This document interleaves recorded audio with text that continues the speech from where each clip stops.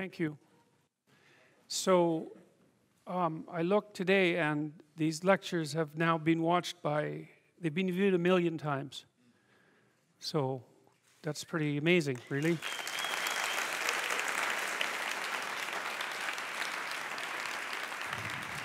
or they've been, they've been glanced at a million times. That might, that's also possible. All right, so, well, let's get right into it. So, last week, um, I think was mostly remarkable for the absolute dearth of content that was actually biblically related. So that was, um, i will just recap what I laid out and so that it sets the frame properly for what we're going to discuss tonight. And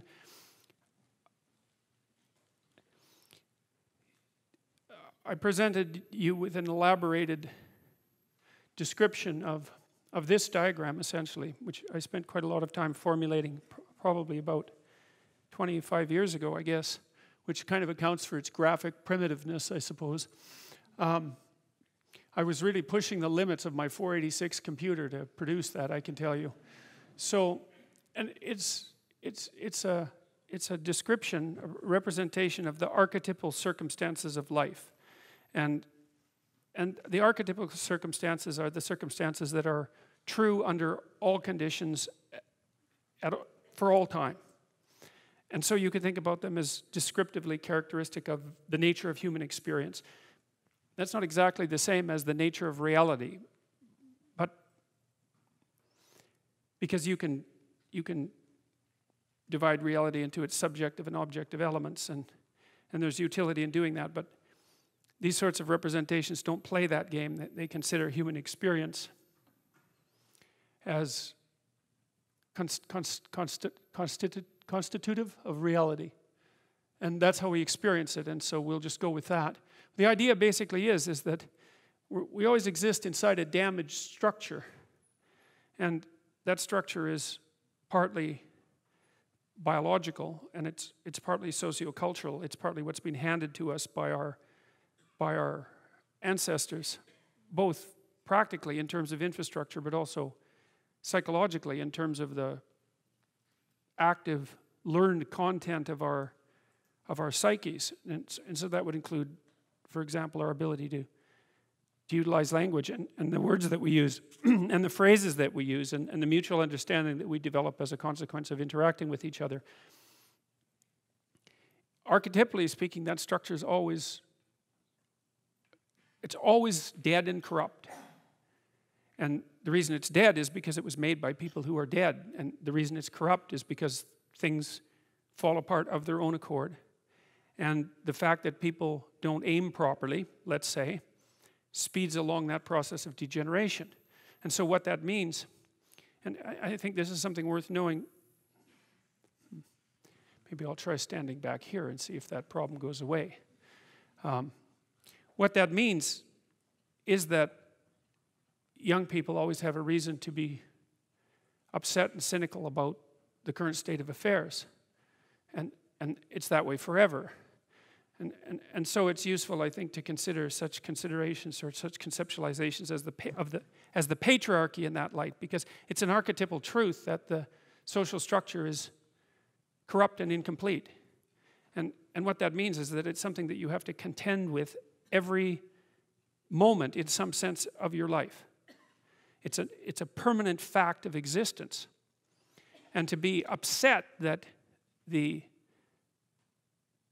structures, the social structures, or even the biological structures within which we live are incomplete and imperfect, is to, and to take that personally, that, that's the worst part of it, to take that personnel, personally is a misreading of the existential condition of humankind.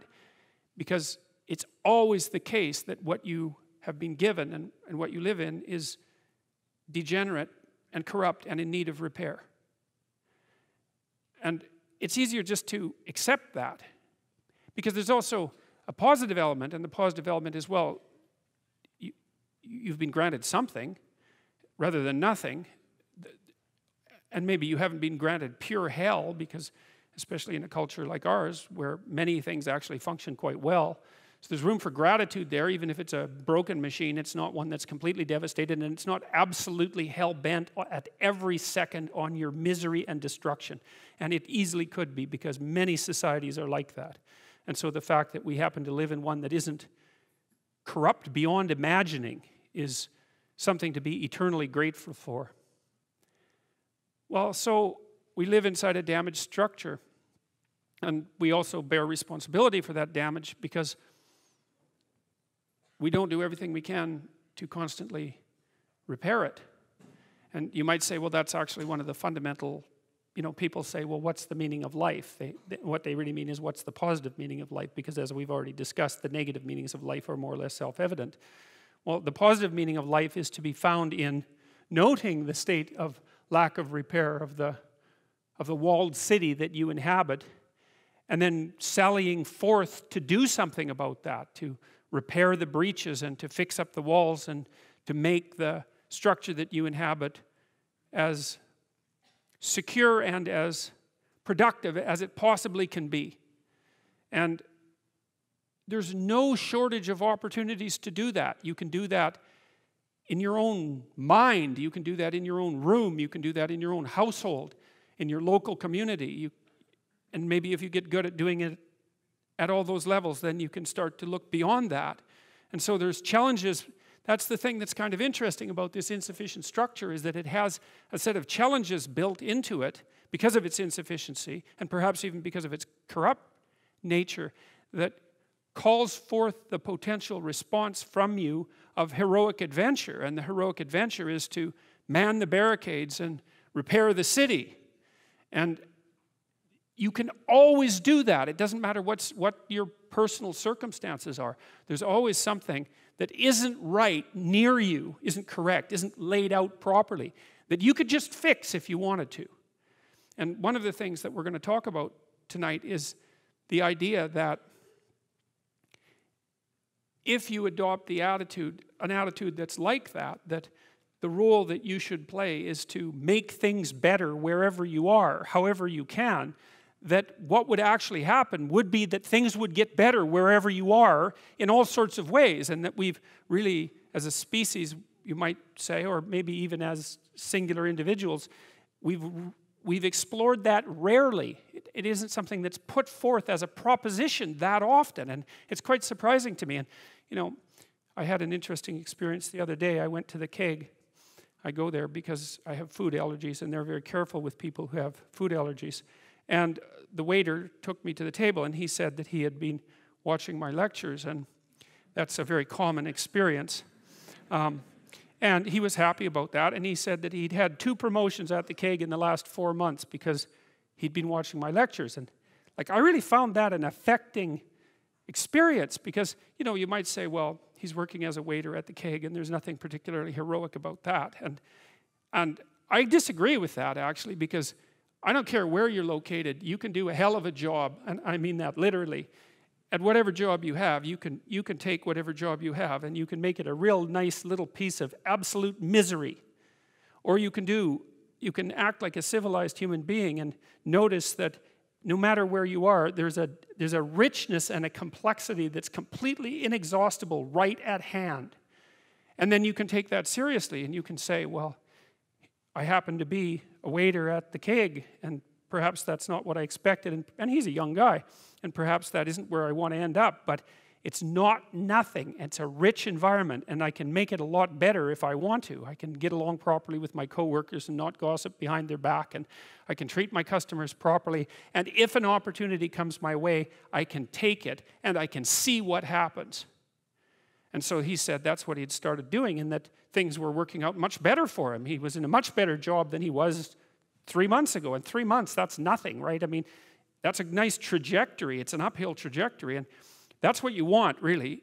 An uphill trajectory is actually even better than being somewhere good, as far as I'm concerned, because one of the things that really makes your life meaningful is the clear realization that you're headed somewhere better than you are now. And then it's even better if you also understand that there's a direct causal relationship between the things that you're doing and the steepness of that incline. And so I get a lot of letters from people like that. And they're more, most frequently young men, although not always. And they say, well, you know, I've been listening to these lectures and I decided that I'm going to try to take responsibility for my life. And so I'm, I've started to stop doing all the stupid things that I know that, that are stupid that I know I shouldn't be doing. And I've started doing some of the things that aren't stupid that I know I should be doing, which seems pretty obvious, really, if you think about it. But obvious though it may be, that isn't necessarily what people do. And then they write and say, You can't believe what difference that makes. And they're thrilled about it. And so I'm thrilled about it when I get letters like that because I, I really don't experience anything as better than a letter like that or a message like that because it's so good to see things that aren't so good replaced by something better. And I really do think it's an open question. I truly believe it's an open question to what degree we could make things better if that's what we actually aimed at doing. You know, in some of the stories that we've, we've covered already, the story of Cain and Abel in particular is really an analysis of that problem, which is so remarkable. It, it occurs so, so early in this document. It's such a, it's such a foundational story. And it basically says, well, there's two modes of being in the world, right? There's one where you adopt the responsibility for living properly for being properly, and you make the sacrifices necessary for doing that, and then everything will flourish properly.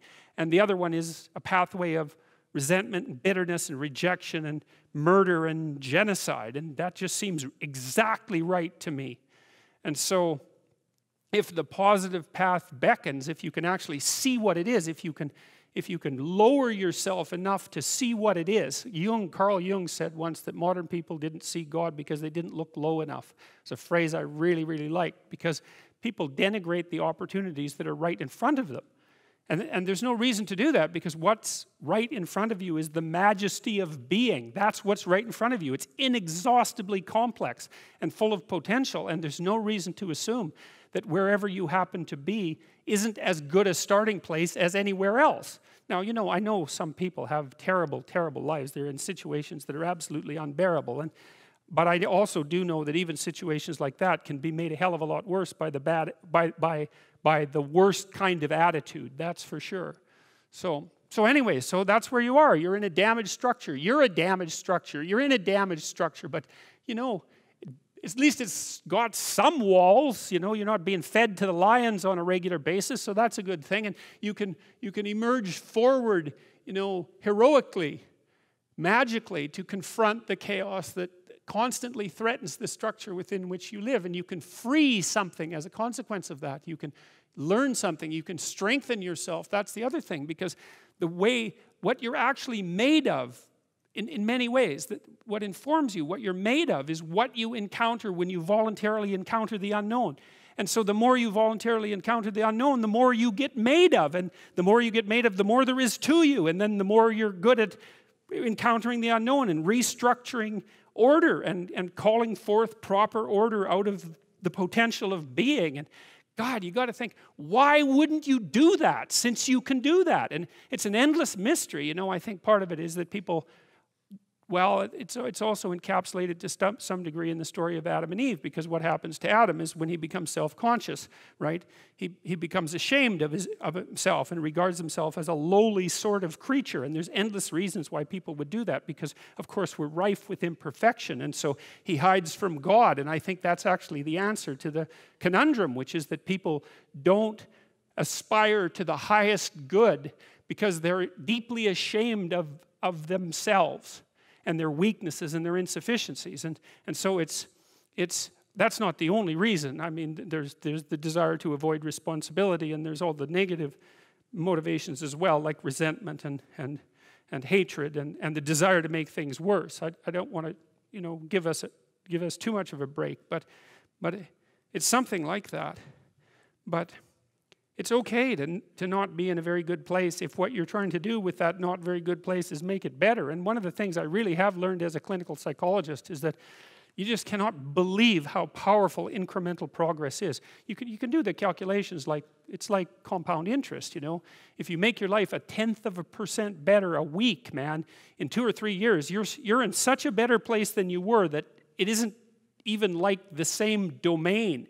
And if you keep that up for 10 years or 20 years, you know, especially if you're young and you start early, you start to straighten yourself out and, and fix the things that you can fix, you can transform your lives in ways that are completely unimaginable. And God only knows what the upper limit of that is in terms of human possibility because we are amazing creatures, you know, when we really get our act together and stop running at 10% of our capacity, you know, you know so.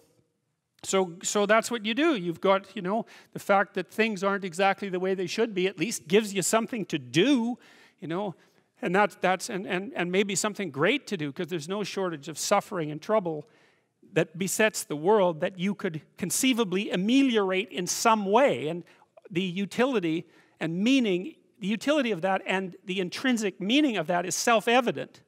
So it also makes me curious about nihilism, for example, and despair, because I mean, I understand those emotions, I understand them deeply, and, and the intellectual mindset that goes along with it, but they just seem beside the point to me in some sense because there are so many things that need doing that all you really have to do is open your eyes and look at them and then decide that you're actually going to do something about them. And you might think, well, the, what's within my scope of, of, of influence is so trivial that it's not worth doing. It's like, it won't stay trivial for long if you do it.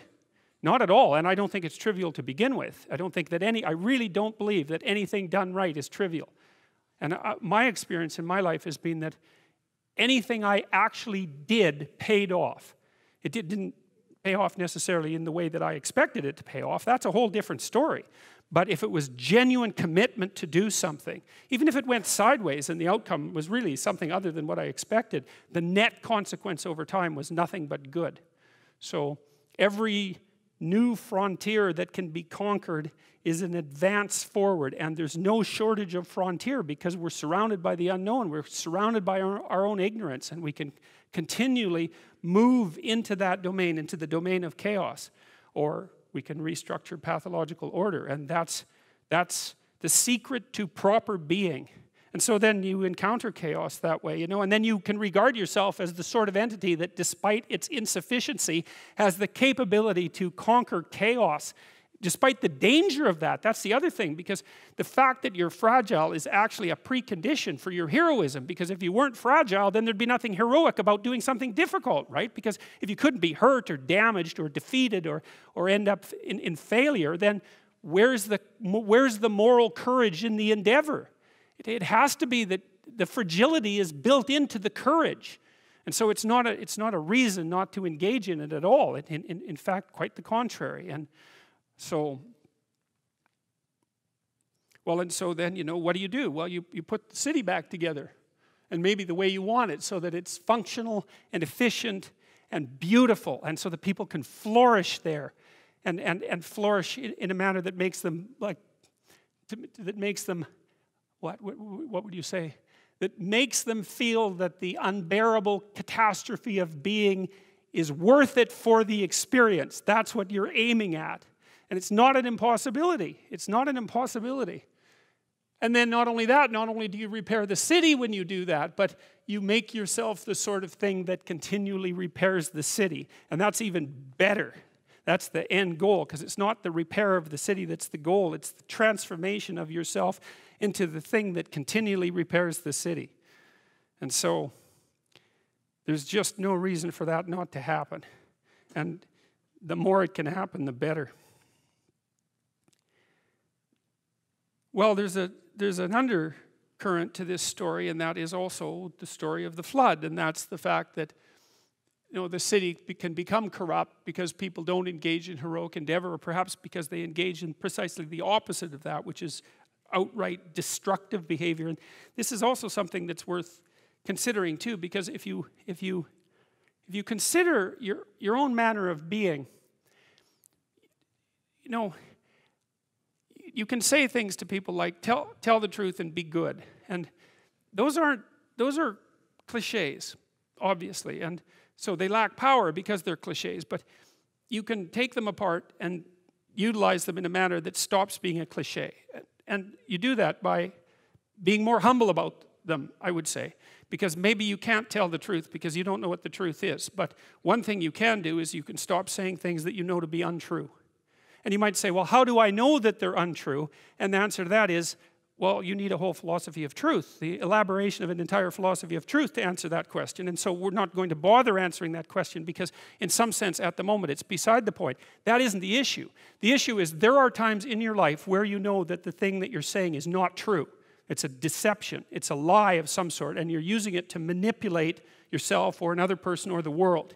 And you're also possessed, fully possessed of the idea that you can get away with it.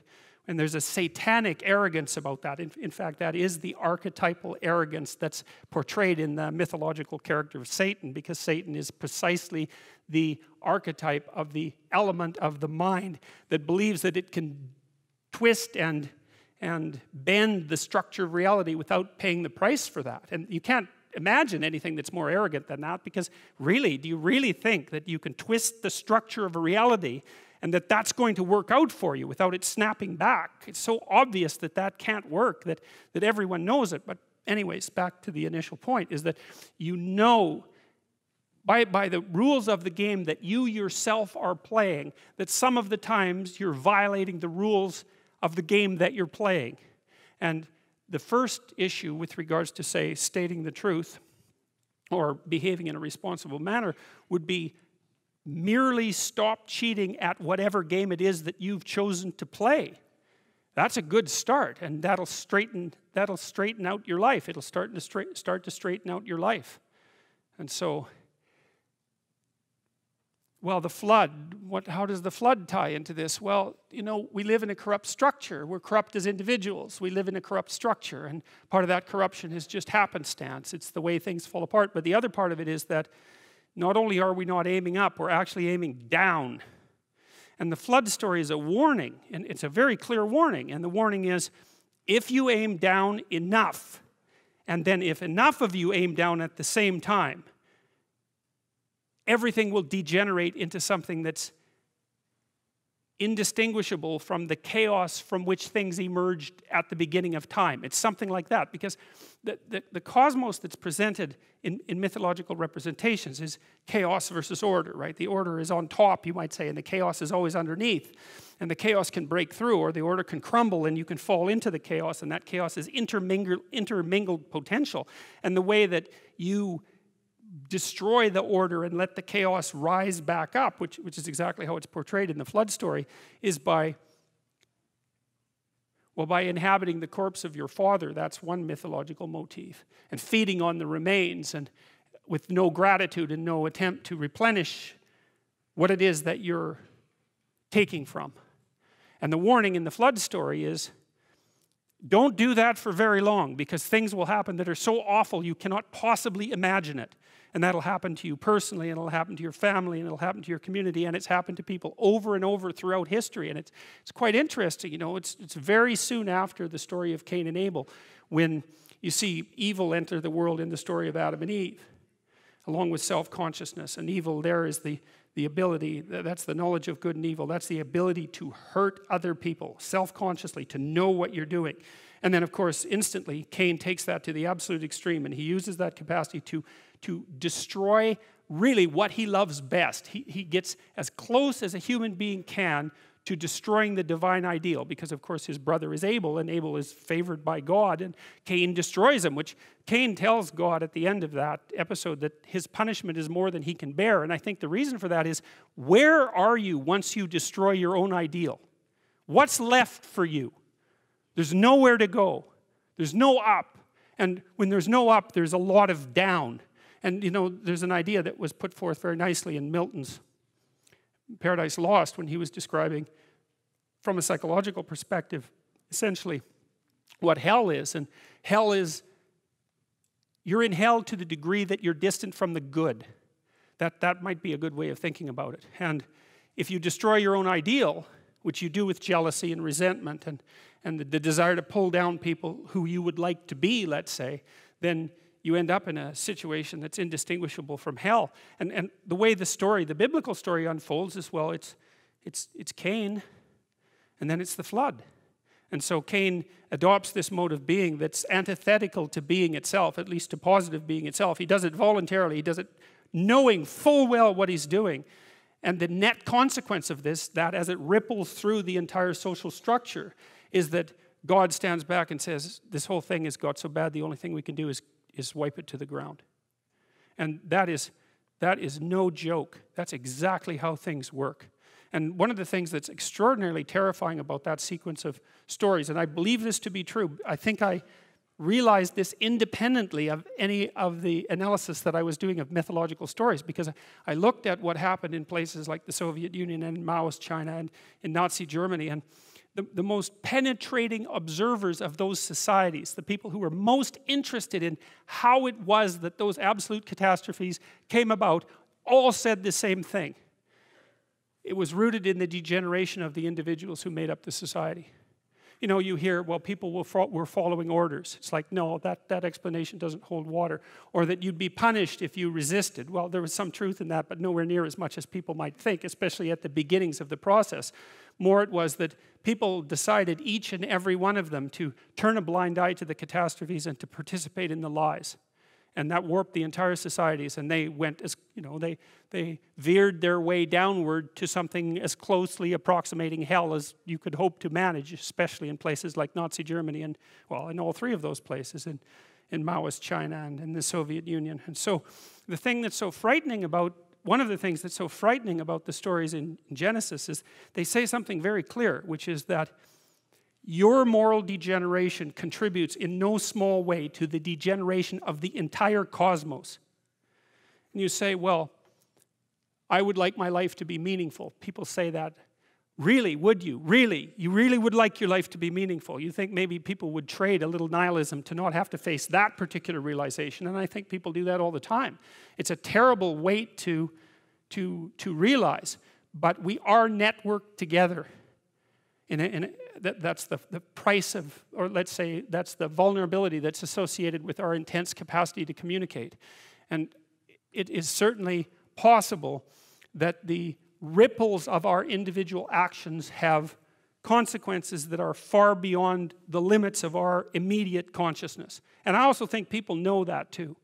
They, they know that in the way that people know things when they don't want to know them, which means they know them embodied. They can feel them, they can sense them, they have an emotional response to them. But there's no damn way they're going to let them become articulate because they don't want to know. And when you're feeling guilty and ashamed about the things you've done or not done, and I know that can get out of hand as well. It's often because there is a crooked little part of you that's aiming at the worst possible outcome. You know, one of the things Jung said about the shadow, you know, that Jung's famous idea that everyone has a dark side and that that dark side needs to be incorporated and made conscious. Jung said that the, the, the shadow of the human being reaches all the way to hell. And he actually, that's the thing that's so interest about, interesting about reading Carl Jung, is he actually means what he says. It's not a metaphor. It's like the, the, the, the part of you that's twisted against being is aligned with the part of the cosmos, let's say, the conscious cosmos, that's aiming at making everything as terrible as it can possibly be. And you know, it's a terrible shock to realize that. It's partly why people don't realize it. It's, it's something that people keep at an arm's length. It's, it's the same as recognizing yourself as a Nazi concentration camp, camp guard, which is a very useful exercise because there's absolutely no reason why you couldn't have been or still could be one. So, and if you think otherwise, then all the more reason for assuming that you would be unable to resist the temptation if it was in fact offered to you. And if you don't think it's a temptation, then the then there's so much that you don't know about human beings that you're not even in the game. Because if it wasn't a temptation, then people bloody well wouldn't have done it. And plenty of people did it, and it's no wonder. So, hmm. So things get serious in Genesis very, very rapidly. And, and the depth of the seriousness is ultimate, archetypal. That's, it, it gets as serious as it can get. The, the story of Noah and, and, and the flood opens in a fragmentary manner, and I believe that these passages are part of an, a longer story that we only have bits and pieces of, and, and also one that's fragmented in its, in its it, it's, it's parts of more than one story. And it starts like this It came to pass when men began to multiply on the face of the earth, and, and, and daughters were born unto them, that the sons of God saw the daughters of men that they were fair, and they took them wives of all which they chose. Now, there's an idea there. There's two ways of looking at the past. And you can kind of see that in, in, the, in the political landscape that we inhabit. Now, on the more conservative end of the spectrum, people regard the past as the land of giants, right? They were the heroes of the past who established the current conditions that we exist in. And then the people on the left are, are more concerned perhaps with the, what, what would you call it, with the lineage of corruption that's come down through the centuries. And both of those perspectives are, are, are accurate. You can say, well, there were, there, there, there were the great heroes of the past who established our modes of being. You can think of them as composite beings if you want. That's fine. That's, that's a perfectly reasonable way of thinking about it. And you can also think of the, of the accumulation of corruption and evil that's come along the centuries as well. And so you see both of those reflected in these initial few lines. That the sons of gods, so those are the heroes, saw the daughters of men, that they were fair, and they took them wives of all of which they chose. Then this statement comes in as somewhat of a non sequitur. And the Lord said, My spirit shall not always strive with man, for that he is also flesh, yet his days shall be 120 years. And I, I looked at a variety of interpretations of that line because it, it, doesn't seem to follow so clearly from the previous line, and, and exactly what it means isn't obvious. But it, it seems to be the first line talks about the heroes of the past. And, and this, the second line says, wait, wait, a second, there's something corrupt about the human mode of being. And one of the consequences of that, as far as God is concerned, is that there are conditions under which the divine spirit will not strive with man. What, what that means is there are conditions under which, let's say, the I don't think there's any other way of, of, of putting it is the divine impulse towards the good will abandon you because of things that you've done. And then the secondary consideration here is that perhaps because of the de degeneration of people, it's not so obvious here that our lifespans are limited, that, that, that, the, that the spirit that inhabits us will only do so for a limited amount of time. And that's tangled in a strange way in with the idea of human moral culpability. And that's posed against the notion of the giants of the past. And then it returns to the giant idea, the narrative returns to the giant idea and, and reads There were giants in the earth in those days, and also after that, when the sons of men came in unto the daughters of men, and they bare children to them, and the same became mighty men which are of old, men of renown.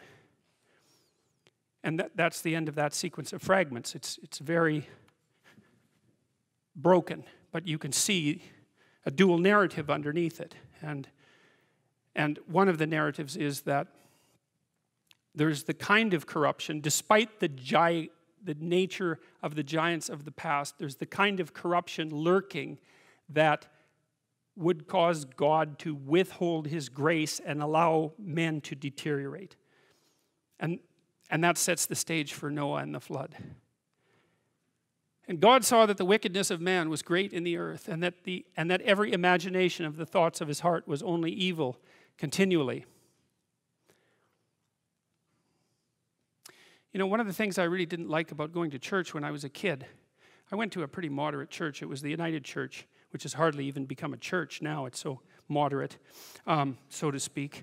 Um, one of the things I didn't like was the constant harping by the ministry on the sinful nature of human beings.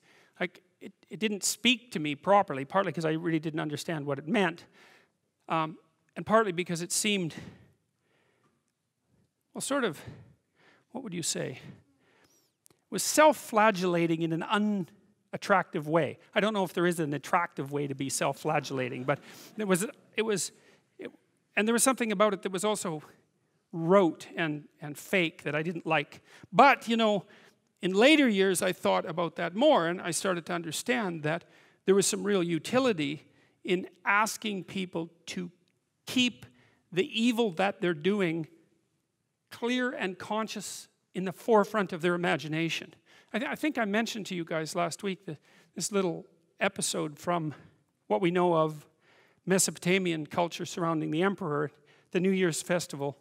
They would take the emperor outside of the walled city and strip him of his garb so that he was reduced to just an ordinary man, and then humiliate him ritually, and then ask him how it was over the last year that he wasn't a spectacular embodiment of Marduk. And Marduk was the Mesopotamian deity who made order out of chaos, essentially. And the emperor was supposed to sit and think, okay, well, you know, I'm emperor and everything. I, I should be doing a good job. Maybe I should even be doing a great job. And probably I'm coming up short in a bunch of ways. And that actually happens to be important since I'm running the entire show. I should be very, very cognizant of how I'm failing to live up to the ideal. And that is what that call, that constant clarion call that's degenerated, I would say, in institutional Christianity, that was actually the idea was, look, there's a bunch of ways that you're not being everything you could be. And it is not supposed to be a whip to, to, to knock you down, although maybe it's a whip to knock down your pride, the pride that stops you from being aware of your insufficiencies. It's more like a call to the opposite. It's like, well, you should stop doing those things because you could be so much more than you are, and that would be so much better for you and everyone else that it's just, it's just not good that you continue doing these things, continue breaking your own rules, let's say. Because we could certainly, as I said, we could start this game by assuming that you should at least play the game that you're playing straight. And so, and it is the case that if you watch yourself, it's a terrifying thing to do, but if you watch yourself, you'll see you lie a lot. Like when I learned this to begin with, I was in my 20s, and I was, I'm a smart person, and I was very proud of that. Because um, I was also a small person. I, I was moved ahead one year in school, and I was a small person to begin with. And so I was a very small person in my classes, and also very mouthy, which might not come as much of a surprise, and somewhat provocative. And so, you know, and I got pushed around a fair bit because everybody gets pushed around, and my weapon was to be mouthy, and it was a fairly effective weapon, although it tended to backfire because, you know, if you're really effectively mouthy with large, obnoxious people, then they tend to respond in a relatively negative physical way. And so that sort of thing was happening to me a fair bit. And, but I was quite, I was quite proud of the fact that I was, that I, I was, I had some intellectual power. And that, it was then in my 20s when I learned about some of the danger of that because I, I started to read partly Milton's Paradise Lost and I started to understand the, the, the danger of the intellect. And the danger of the intellect, as far as I can tell, is that it tends towards pride and arrogance. And it also tends to fall in love with its own productions. And so that's actually Lucifer. In, in, in Paradise Lost, that's Lucifer. Lucifer is the intellect that falls in love with its own productions and then assumes that there's nothing outside of what it thinks.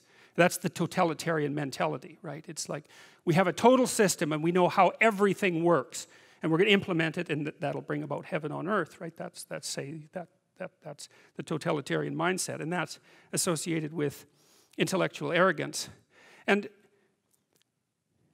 Another, at the same time, another thing was, happening to me. So I, was noticing that. I, I started to understand what that meant. And I also started to understand that there was more to life than the intellect, much more. Because I smoked too much and I drank too much and I weighed like 130 pounds. I wasn't in good physical shape. And like I had a lot of things to do when I went to graduate school to put myself together. And at the same time, I was trying to understand why things had gone so crazily wrong with the world its encapsulation in the Cold War and what role I might be playing in that, if any, or what role any of us were playing in that. Um, at the same time, I was working at a prison, only a little bit. I worked with this crazy psychologist. Um, he, he used to put jokes on his multiple choice tests.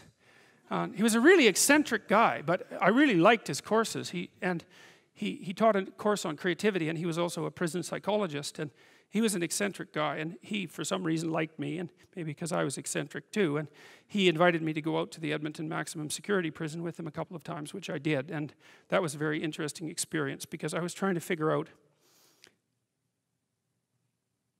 what role each individual's behavior bore to the pathology of the group it was something like that. And i went out there and I met a, little guy, smaller than me. I was a little bigger by then. And he was a pretty innocuous guy. And uh, what had happened was I was out in this gymnasium. It looks like a high school, a prison, which is really quite telling in my estimation. But and there were all these like monsters in there weightlifting and like they were monsters i remember one guy was tattooed everywhere and he had like a huge scar running down the middle of his chest it looked like someone had hit him with an axe and you know and and i was in there and i had this weird cape that i used to wear that i bought in portugal and some boots that went along with it. And yeah it was like an 1890s sherlock holmes cape. And it was really like it was from the 1890s because this little village was up on a hill. It was a walled city on a hill, and they sold these things, and I don't think they'd changed the style since 1890. And so I thought they were really cool, and so I was wearing that, which wasn't perhaps the most um, conservative garb to don if you're going to wear if you're going to go to a maximum security prison. So, anyways, I was in the gymnasium, and the, psychi- the psychologist left.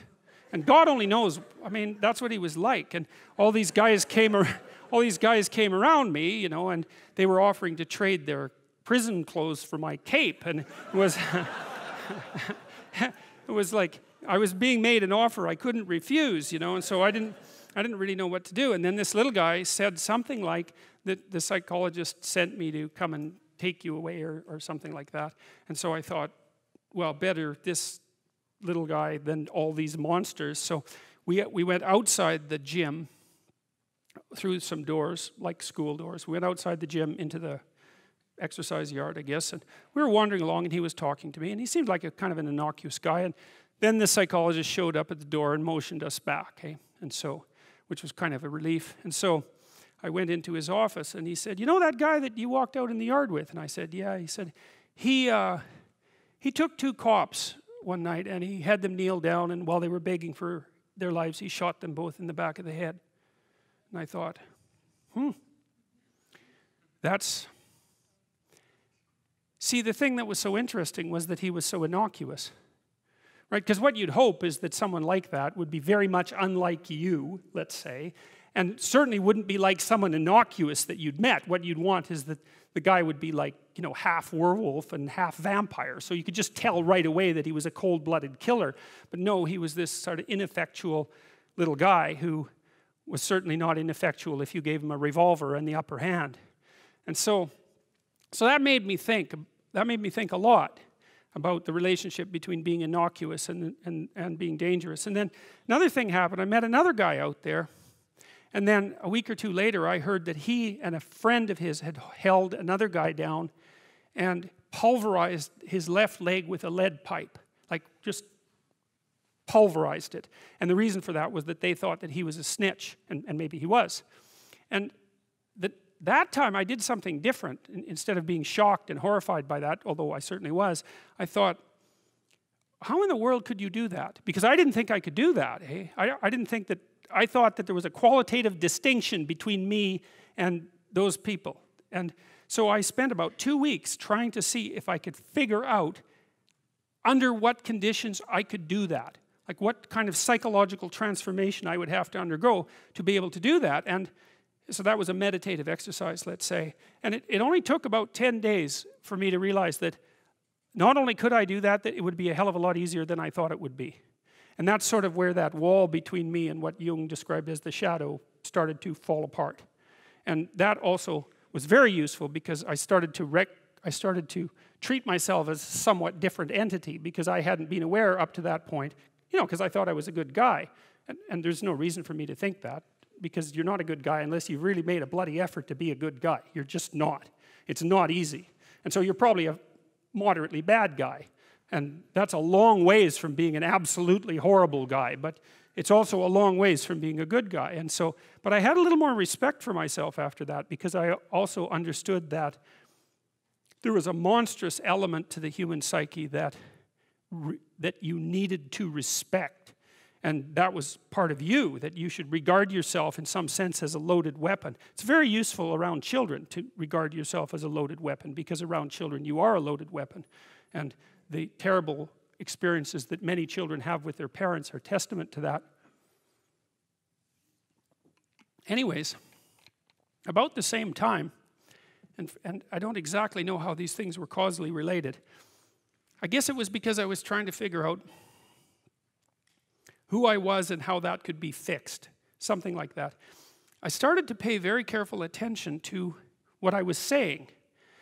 I don't know if that happened voluntarily or involuntarily, but I could feel a sort of split developing in my psyche. And the split, and I've actually had students tell me the same thing that has happened to them after they've listened to some of the material that, that I've been describing to all of you. But split into two, let's say. And one part was the, let's say, the old me that was talking a lot and that liked to argue and that liked ideas. And there was another part that was watching that part, like just with its eyes open and neutrally judging. And the part that was neutrally judging was watching the part that was talking and going, That isn't your idea. You don't really believe that. You don't really know what you're talking about. That isn't true. And I thought, hmm, that's really interesting. So now I've, and that was happening to like 95% of what I was saying.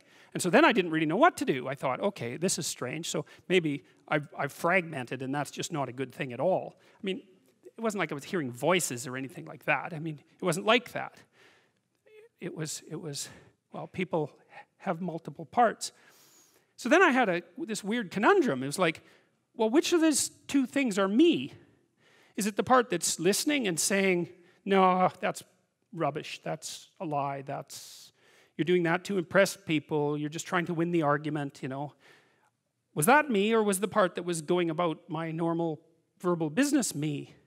And I didn't know, but I decided I would go with the critic. And then what I tried to do, what I learned to do, I think, was to stop saying things that made me weak.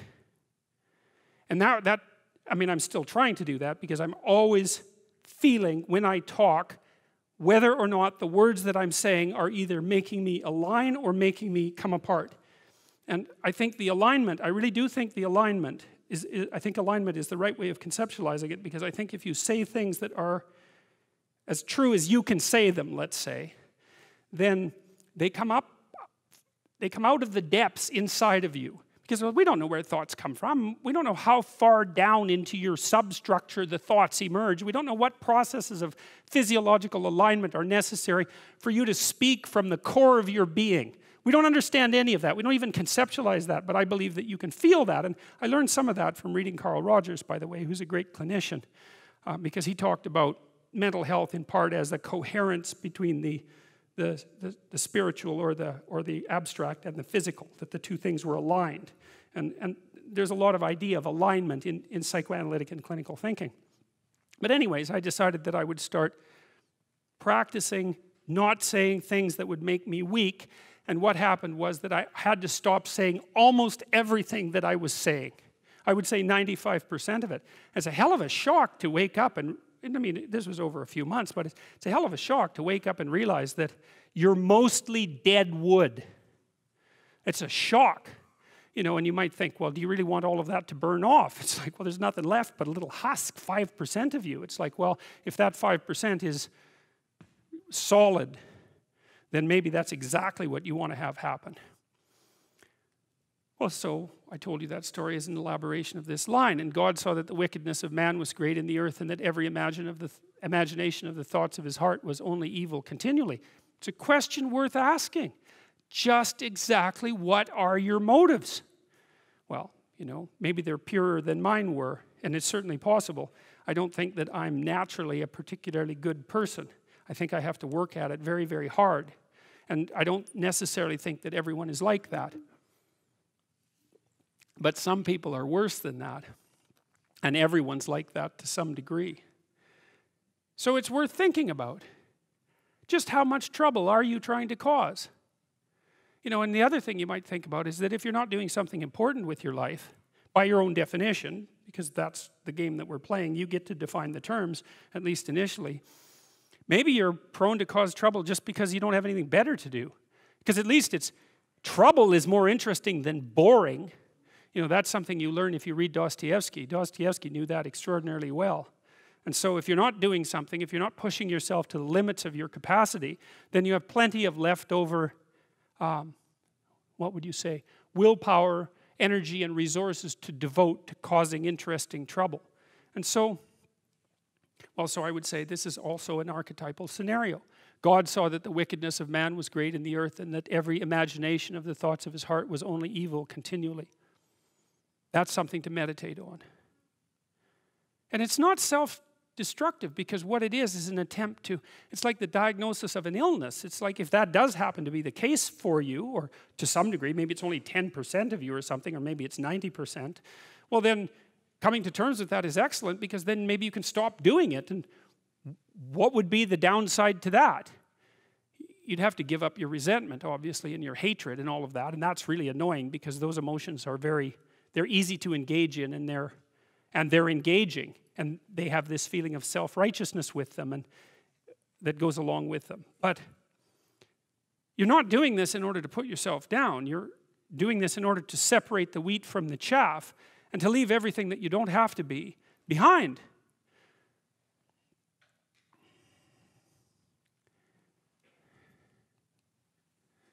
And it repented the Lord that he had made man on the earth, and it grieved him at his heart. And the Lord said, I will destroy man whom I have created from the face of the earth, both man and beast, and the creeping thing, and the fowls of the air, for it repenteth me that I have made them. What's the idea? Well, the idea is that the cosmos that God created had become corrupt.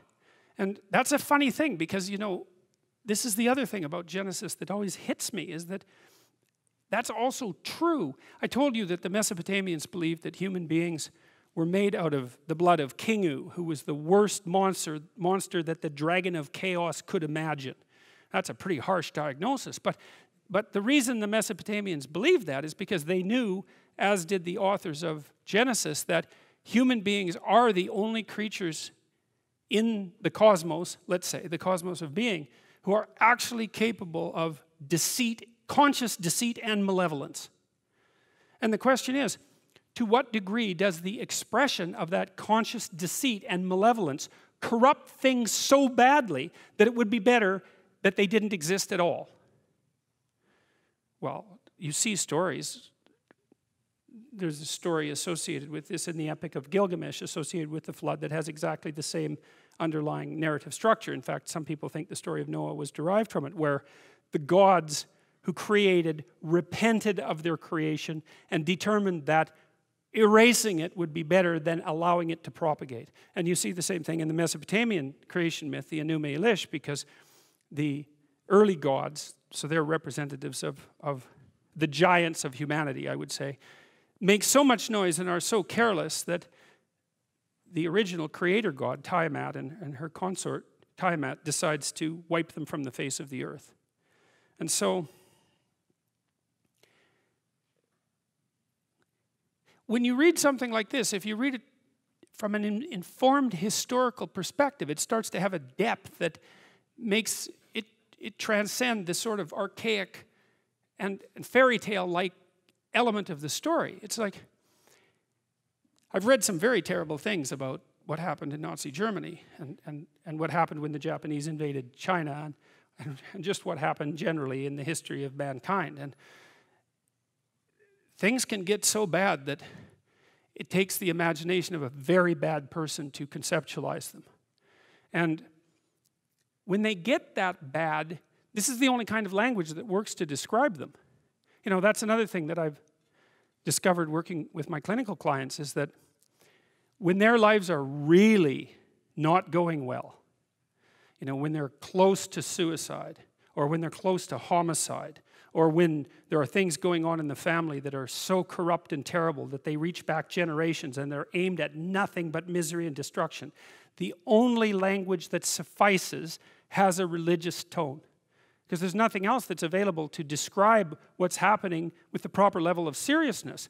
And it might be that you've never encountered a situation that required that level of seriousness, but that doesn't mean that those situations don't exist. They exist. Uh, you generally do everything you can to avoid being ensconced in them, but they certainly do exist, and the probability that you'll encounter a situation like that or two at some point in your life is extraordinarily high. You'll tangle with someone who's malevolent right to the core, and maybe it'll be you that is, and that'll be a big shock. And then these sorts of things, these sorts of poetic descriptors start to become much more real. But Noah found grace in the eyes of the Lord.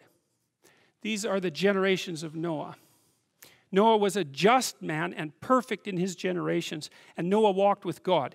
That's an interesting line because if you remember back in the story of Adam and Eve, what happens to Adam once he eats the fruit of the tree of the knowledge of good and evil and wakes up, the scales fall from his eyes, becomes self conscious, develops the knowledge of good and evil, is he won't walk with God when God calls him in the garden. And so Noah is Adam without the fall, essentially. And there's something that Noah's doing right that motivates God to spare him or maybe to show him a pathway through the emergent chaos, something like that. And that's worth thinking about a lot because there will be situations in your life where what you face is the emergent chaos. And maybe that'll be some terrible catastrophe inside your family, or maybe it'll be something that's occurring on a much broader social level. But the chaos is coming. And what you're going to want to know, unless you want to be a denizen of the chaos or even a contributor to it, and perhaps that is what you want, because many people under those circumstances choose that. What you want is to know how you build an ark and get through it. That's what you if you're if you're interested in life, if you're interested in proper being and you're disinclined to produce any more suffering than necessary, then you want to know how to conduct yourself when the catastrophe comes so that you have a reasonable possibility of, of moving through it and, and starting anew. So when, when this old story says, well, God's not happy and he's going to wipe everything out. It's like, well, you, you might want to take that seriously. And then when it says, but there's one person who had a mode of being that protected him from that, that's also something you might want to take seriously because you might want to know what that mode of being is because you might need to use it. And so these sorts of things are practical in the deepest possible sense. They're real in the deepest possible sense and practical in the deepest possible sense. So Noah walked with God. Now I'm going to switch way ahead here because, you know, the, I said at the beginning of the lecture series that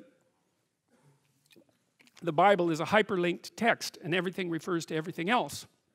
And so there's utility in reading it in linear order, but it's not a linear document. It's a document that, that you can move through in an infinite number of, there's an infinite number of pathways that you can use to walk through it. And all of the document expands upon and refers to all of the rest of the document. And so I'm going to switch to the Sermon on the Mount, which I think is probably the key document in the New Testament. And I'm going to switch to it because I think it's the closest thing we have to a fully articulated description of what it would mean to walk with God so that you're in the ark when the flood comes. It's the, it's the most fully articulated realization of that idea that, that leaps out of the metaphorical. Because if I say, well, you should conduct yourself like Noah and walk with God and build an ark, obviously those are poetic and metaphorical suggestions, and it's not that easy to bring them into practice, right? It's the distance, there's a big distance between you and the archetype. It isn't obvious how to manifest it in your own life. And what has to happen is the archetype has to be differentiated and articulated so that it becomes sufficiently practical and personal so that you can actually implement it. So I'm going to take apart some of the Sermon on the Mount. It starts in Matthew 5, and I'm not going to talk about Matthew 5. I'm going to talk about the end of Matthew 6 and most of Matthew 7. Consider the lilies of the field, how they grow. They toil not, neither do they spin. And yet I say unto you, that even Solomon in all his glory was not arrayed like one of these. Wherefore, if God so clothe the grass of the field, which today is and tomorrow is cast into the oven, shall he not much more clothe you, O ye of little faith? Therefore, take no thought, saying, What shall we eat, or what shall we drink, or wherewithal shall we be clothed? Those are famous lines. And that's sort of Christ the hippie, right? It's like, hey, let it all hang out. That's an old phrase. Do your thing, and everything will come to you. And these lines have been interpreted in that manner many times. But that's seriously not the proper interpretation because there's a kicker with this injunction. And the kicker is this For your heavenly Father knows that you have need of all these things. But seek ye first the kingdom of God and his righteousness, and all these things shall be added unto you. That's a lot different than the hippie thing, right? Because the, there's a very, very, very interesting idea here. It's, it's certainly one of the most profound ideas that I've ever encountered. Um, and the idea is this is that if you configure your life so that what you are genuinely doing is aiming at the highest possible good, then the things that you need to, to survive and to thrive on a day to day basis will deliver themselves to you. That's a hypothesis. And it's not some simple hypothesis, right? Because it, what it basically says is if you dare to do the most difficult thing that you can conceptualize, your life will work out better than it will if you do anything else. Well, how are you going to find out if that's true? Well, it's a Kierkegaardian leap of faith. There's no way you're going to find out whether or not that's true unless you do it. So no, no one can tell you either because just because it works for someone else, I mean, that's interesting and all that, but it's no proof that it'll work for you. You have to be all in in this game. And so the idea is seek ye first the kingdom of God and his righteousness. It's like that's actually a fairly important caution when you're talking about not having to pay attention to what you're going to eat or what you're going to wear. It's like what it's essentially saying is that those problems are trivial in comparison. And the probability is that if you manifest yourself properly in the world, that those things will come your way is extraordinarily high. And I believe, I believe that that's exactly right. I mean, I, have I've watched people operate in the world, and I would say that there is no more effective way of operating in the world than to conceptualize the highest good that you can and then strive to attain it. There's no more practical pathway to the kind of success that you could have if you actually knew what success was. And so that's what this that's what this sermon is attempting to to posit. It's like in, in the story of Pinocchio. You know, what happens at the beginning of the story of Pinocchio is that Geppetto wishes on a star. We talked about that a little bit. And so what Geppetto does is align himself with the metaphorical manifestation of the highest good he can conceptualize and say, he says, he, he, makes, a, he makes a commitment, let's say, he aims at the star, and for him, the star is the possibility that he can take his creation, a puppet, right, whose strings are being pulled by unseen forces, and have it transform into something that's autonomous and real. Well, that's a hell of an ambition. You know, and we're wise enough to put that in a children's movie, but too foolish to understand what it means. It's such an interesting juxtaposition that, that we can both know that and not know it at the same time. You can go to the movie, you can watch it, and it makes sense, but that doesn't mean that you can go home and think, well, I know what that meant. Well, people are complicated, right? We exist at different levels, and all the levels don't communicate with one another. But, but the movie is a hypothesis, and the hypothesis is there's no better pathway to self realization and the ennoblement of being than to posit the highest good that you can conceive of and commit yourself to it. And then you might also ask yourself, and this is definitely worth asking, is do you really have anything better to do? And if you don't, well, why would you do anything else? Therefore, take no thought for the morrow, for the morrow shall take thought for the things of itself. Sufficient unto the day is the evil thereof. I spent a long time trying to figure out what that meant, too, because it's another one of those lines that can easily be read as pro grasshopper and anti ant. You know, you remember the old fable of the grasshopper and the ant? Maybe not. I'm not going to tell it, but the ant works and the grasshopper fiddles, and the ant has a pretty good time in the winter and the grasshopper dies. And so this is like a pro grasshopper line, but it's not because it says something else. It says that if you orient yourself properly and then pay attention to what you do every day, that works.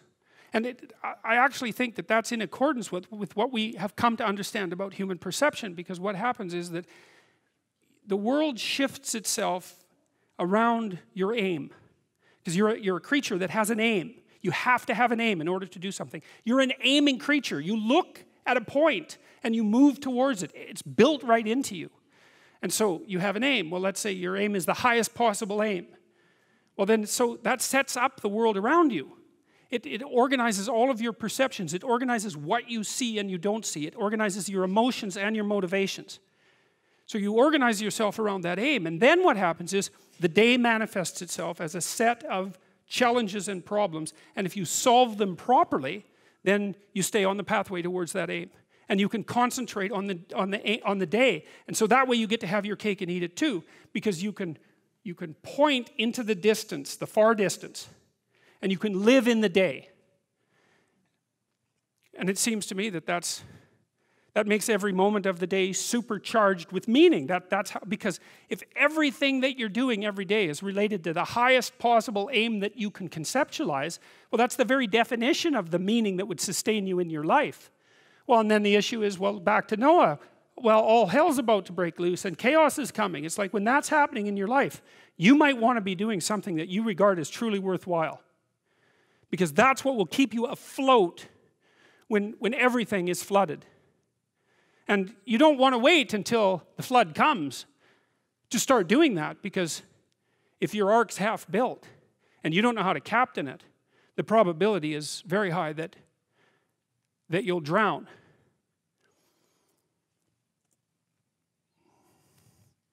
Take therefore no thought for the morrow, but for the morrow shall take thought for the things of itself. Sufficient unto the day is the evil thereof.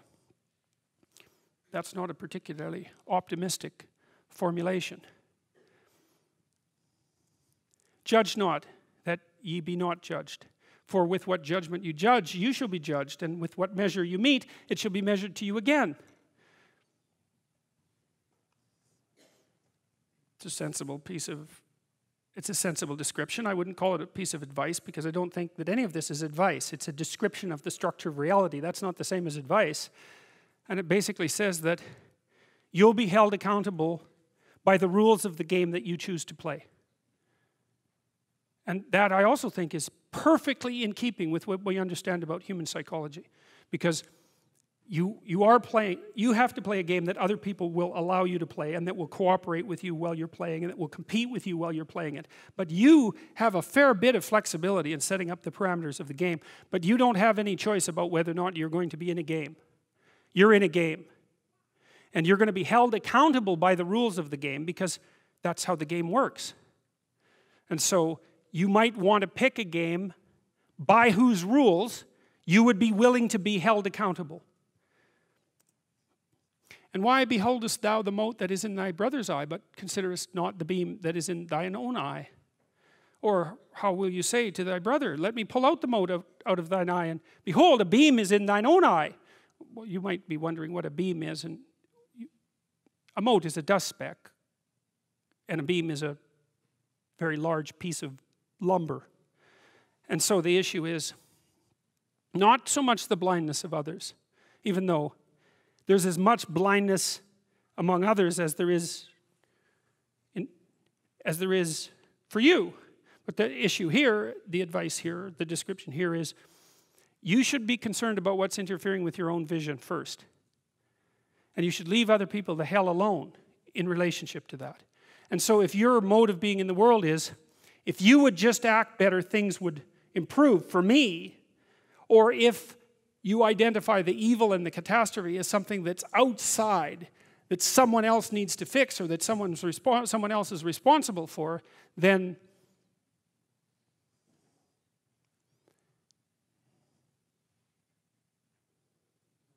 then you're not going to fix that. And you're going to remain blind to the things that you're doing and not doing that make things not go well. And so it's just better to think, all right, I'm probably blind in many, many ways. And maybe there are some ways that I could rectify that, because it's highly probable that you're blind in all sorts of ways. I mean, it's, it's, in fact, it's virtually certain. And so it's just more useful to think, how is it that I'm wrong in this situation? I'll tell you something that I learned to do when I was arguing with my wife, which happened quite frequently, because when you actually communicate with people, you find out that there's many things that you don't agree on. And that's because you're actually different creatures. And so, if you're actually going to have a truthful conversation, then you're going to find out that you don't see things the same way, and then you can either pretend that that's not the case and gloss over it and then end up in a 30 year silent war, or you can or you can have the damn fight when you need to have it and see if you can straighten it out. So now and then we'd get in a situation where we were at loggerheads, we couldn't move. And, you know, it would spiral up into hate speech, let's say. Because, yeah, everyone laughs because they know they manifest plenty of hate speech towards those they love. So, one of the things we learned to do was when we hit, hit an impasse was to separate and to go our own ways and to go sit and think, okay, look, we're at this unpleasant situation. We can't figure out how to move forward. I'd always think, of course it's her fault. Obviously, it's her fault. At least 95%. But maybe there was something I did that contributed like 5% to it. And so I would sit and think and ask myself a question, which was Is there anything I did in the last six months that increased the probability that this impasse would manifest itself? And I'll tell you, you have no idea how fast your mind will generate an answer to a question like that because there's undoubtedly some idiotic thing that you did that you know, that you remember, that increased the probability that you're going to have your hands around the throat of the person that you love. And then you can go tell them that. And then you can have a conversation, especially if they do the same thing. Say, look, you know, here's how I'm an idiot in this situation. And the other person says, well, yeah, here's how I'm an idiot. And then you're two idiots, and then maybe you can have a conversation. so, Thou hypocrite, first cast out the beam of thy, out of thine own eye, and then shalt thou see clearly to cast out the mote of thy brother's eye. That's, hey, hard to argue with that. Ask and it shall be given you. Seek and ye shall find. Knock and it shall be opened unto you. For everyone that asketh receiveth, and he that seeketh findeth, and to him that knocketh it shall be opened. That sounded pretty optimistic again. But, but again, I think it's a description of the structure of existential reality, and, and by, by which I mean when I'm in my clinical practice and I observe, and this is also the case with my students, is let's say people's lives aren't what they would like them to be. And so then you ask, why? Well, forget about tragedy and catastrophe, because that's self evident, and we're not going to discuss that. Although the degree to which you bring about your own tragedy is always indeterminate. But I would never say that every terrible thing that is visited on a person is something they deserved. I think that that's a very dangerous presupposition, especially because everyone gets sick and everyone dies.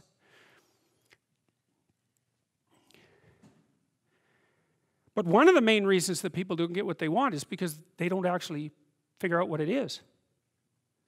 And the probability that you're going to get what would be good for you, let's say, which would even be better than what you want, right? Because you know you might be wrong about what you want easily. But maybe you could get what would really be good for you. Well, why don't you? Well, because you don't try. You don't think, okay, here's what I would like if I could have it. And, and I don't mean, I don't mean in a way that you manipulate the world to force it to deliver you goods for status or something like that. That isn't what I mean. I mean something like imagine that you were taking care of yourself like you were someone you actually cared for. And then you thought, okay, I, am caring for this person. I would like things to go as well for them as possible. What would their life have to be like in order for that to be the case?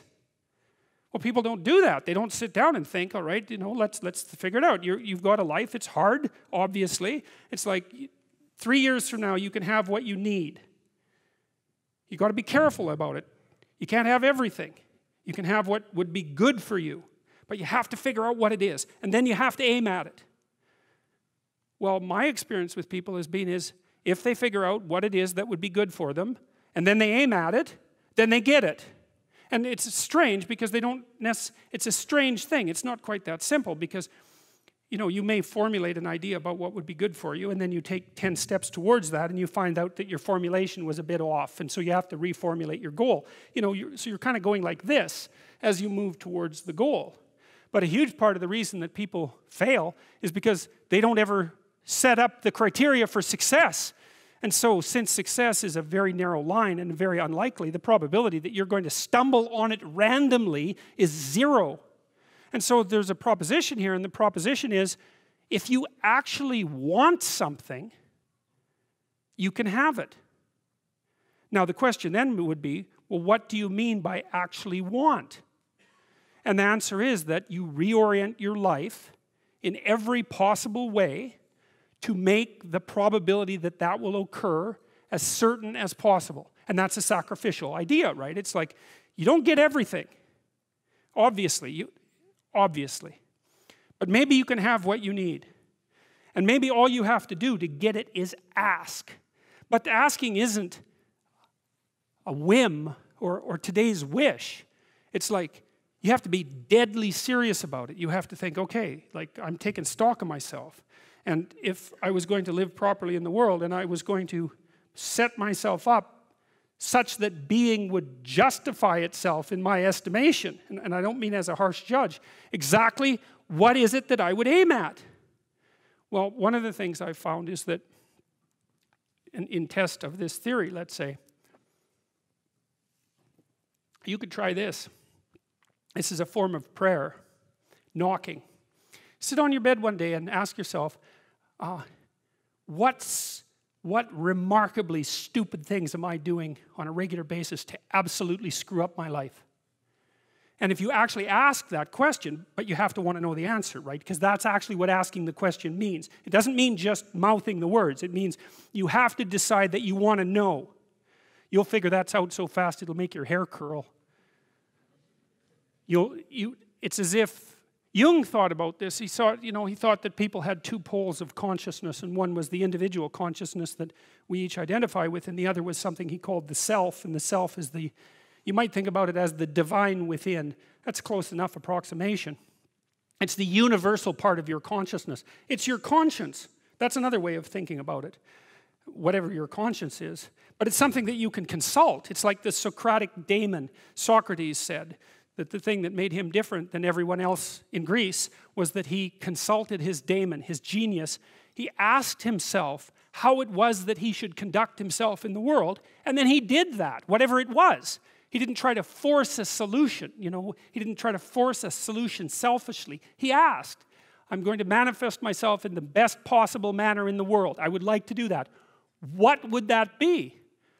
Well, you're perfectly capable of thinking. God only knows how. You're perfectly capable of, of, of immense feats of imagination and, and dream and fantasy. It's God only knows how you do all of that. What would happen if you consulted yourself about the best possible outcome for you? You might get an answer. Well, that's what this proposition is.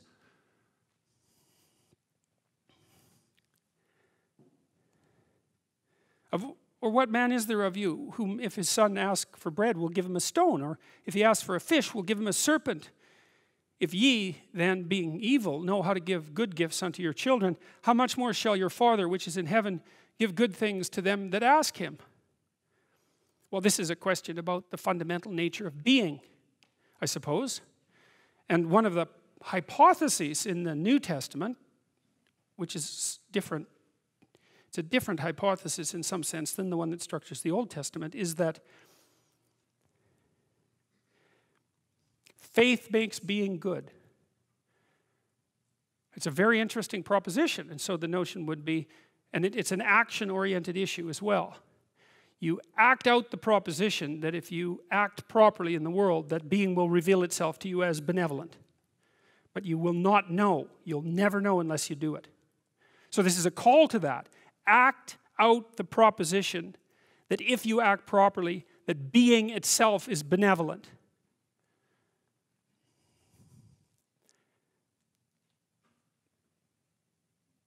There's no reason to assume the contrary. I mean, to assume the contrary would be to be as cynical and bitter as possible. And it's not like we don't have reason for that. It's not like I don't understand why that happens to people. Therefore, all things whatsoever ye would that men should do to you, do you even so to them, for this is the law and the prophets. And that's a reciprocity issue, right? It's like, well, imagine what would be. This is another thing I learned from Jung because Jung reversed this. Because this is often read, it's, it's the golden rule. it's often read as be nice to be nice to other people. It's like that is not what this rule means. It doesn't mean that even a little bit. It means something like and we'll reverse it so that we'll concentrate on you rather than the other person to begin with. It means something like conceptualize how things could be great if they were great for you if you were taking care of yourself, and then work to make that the case for everyone else. You know, you see that in Buddhism because Buddha reached nirvana, right? That's the theory. And then he, he was tempted with the offer to stay there. And he rejected that offer and came back to the profane world because he felt that the attainment of nirvana was insufficient unless everyone attained it simultaneously. And so it's something like that. But it's treat yourself properly. That's a hard thing to do because you're a fallen, shameful, cowardly, deceitful, malevolent, mortal creature. And so it's not easy, and you know it, and it's not easy to treat something like that properly. And, and, and it isn't obvious that people treat themselves better than they treat other people. I don't think that's obvious at all. But maybe you could start with yourself and think, okay, I'm going to take care of myself as if I have value. What would that look like? And then I'm going to work to extend that courtesy to everyone else. And that's, well, the hypothesis here is that if you take all of the moral wisdom that mankind has generated over its millennia of struggle, evolved and then manifested metaphor and story, and then codified into law, articulated law, and you pick one principle that dominated all of that, this would be the principle. And it's interesting too because it's the law and the prophets. And the law is the rules, but the prophets are the process by which the rules are being updated. Right? And so the prophets are superordinate in some sense to the law. And the proposition that's set forth in this particular statement is that this maxim, which is optimize your own mode of being and then work to do the same for everyone around you, is not only the thing that's at the core of the law, but it's at the core of the process that generates and updates the law. It's a hell of a thing for someone to say. Enter ye in at the narrow gate, because that's what strait means. Enter ye in at the strait gate, for wide is the gate and broad is the way that leadeth to destruction. Well, who in the world could possibly argue with that? Everyone in their right mind knows that there's a million ways of doing things wrong, and one way, if you're lucky, to do things right. And so the notion that it's a, a very, very narrow pathway that you tread upon if you're doing things right, that's, that's wisdom.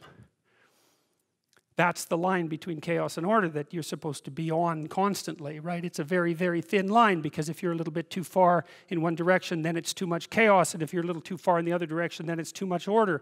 And both of those aren't good. It has to, the balance has to be exactly right. And you can feel that. And I truly believe you can feel that. And I think it's your deepest instinct. It's your deepest instinct. And I mean that, I mean that biologically. I don't mean that metaphorically. I think that your psyche is arranged to exist in a cosmos that's composed of chaos and order. I think that's why you have the hemispheric structure that you have. This is, this is deeper than metaphor. And then when you feel as if you're meaningfully engaged in the world, when the terror of your mortality strips away and you're engaged and it's timeless, that's the deepest instinct you have telling you that you're in the right place at the right time. And then what you do is practice being there, practice being there. And that's that, that narrow spot that's so difficult to find. You wander around it. Maybe if you're lucky, you can watch. You can watch. This is an experiment. Watch yourself for two weeks. Like you don't know who you are, because you don't. So watch yourself for two weeks and notice there's going to be times when things are proper. They're arrayed properly for you. you it's not easy to notice because when they're arrayed like that, you're so engaged, you, you don't exactly notice, you know. But you'll see, oh, I'm in the right place. It's like, okay, how'd I get here? What am I doing right? You know, how is it that this could happen more often? I'd like this to happen more often. How would I have to conduct myself in order for that to happen more often? And then you practice that, and then maybe instead of 10 minutes a month or 10 minutes a week, it's like 15 minutes a day, and then it's half an hour a day, and then it's an hour a day, and then it's four hours a day. And maybe if you're, if you're extraordinarily careful, then you get to a point where you're like that a good proportion of the time. Because strait is the gate and narrow is the way which leadeth unto life, and few there be that find it. Beware of false prophets which come to you in sheep's clothing, but inwardly they are ravening wolves. Well, that's particularly good advice for today's political situation, I can tell you. Ye shall know them by their fruits. Do men gather grapes of thorns or figs of thistles? Even so, every good tree bringeth forth good fruit, but a corrupt tree bringeth forth evil fruit. Well, that's what I learned from studying the history of totalitarianism in the 20th century, is that a corrupt tree brings forth evil fruit. And that's for sure. And it's so funny, you know, people who think, when they're thinking about their relationship with divinity or their relationship with God, they think, it's a primitive and childish way of thinking. What if a miracle just manifests? Why can't a miracle just manifest itself? And I would be convinced. And the funny thing is, is first of all, actually you wouldn't be. If a miracle actually happened, you would actually forget about it in about six months. That's, I mean, you'd think that's not true, but it's true. You would actually forget about it because that's what people are like. But there are negative miracles that are happening all the time, which, which actually lends some credence to my supposition, and we don't pay any attention to that. If we can't learn from what happened in the 20th century, then we are absolutely incapable of learning. Because what happened in the 20th century was as bitter a set of lessons as you could possibly imagine. And it's associated precisely with this A corrupt tree bringeth forth evil fruit. A good tree cannot bring forth evil fruit, neither can a corrupt tree bring forth good fruit. Every tree that bringeth forth, that bringeth not forth good fruit, is hewn down and cast into the fire. Well, that's a flood motif right there. It's like we're constantly the, the archetype of the tree. That's the archetype of being. It's, it's, it's the archetype of the self often. What's the warning here? Is that if you're mostly dead wood, you're going to get, you're going to burn up. And you can think about that metaphysically. You can, you can project that into eternity and you can think about that as a form of hell. And the funny thing is, is that when that's happening to you in real time, it is like an eternity in hell. It's a perfectly reasonable way of thinking about it. But you can strip the metaphysical elements off and you can say, well, if you're mostly dead wood, then a spark will light you on fire. And that's also very much worth thinking about. Wherefore, by their fruits shall you know them. Not everyone that saith unto me, Lord, shall enter the kingdom of heaven, but he that doeth the will of my Father, which is in heaven. That's an interesting line, I think. I mean, one of the proper critiques of traditional Christianity, maybe this is the sort of critique that Nietzsche put forth, was that Christianity had degenerated in its moral mission.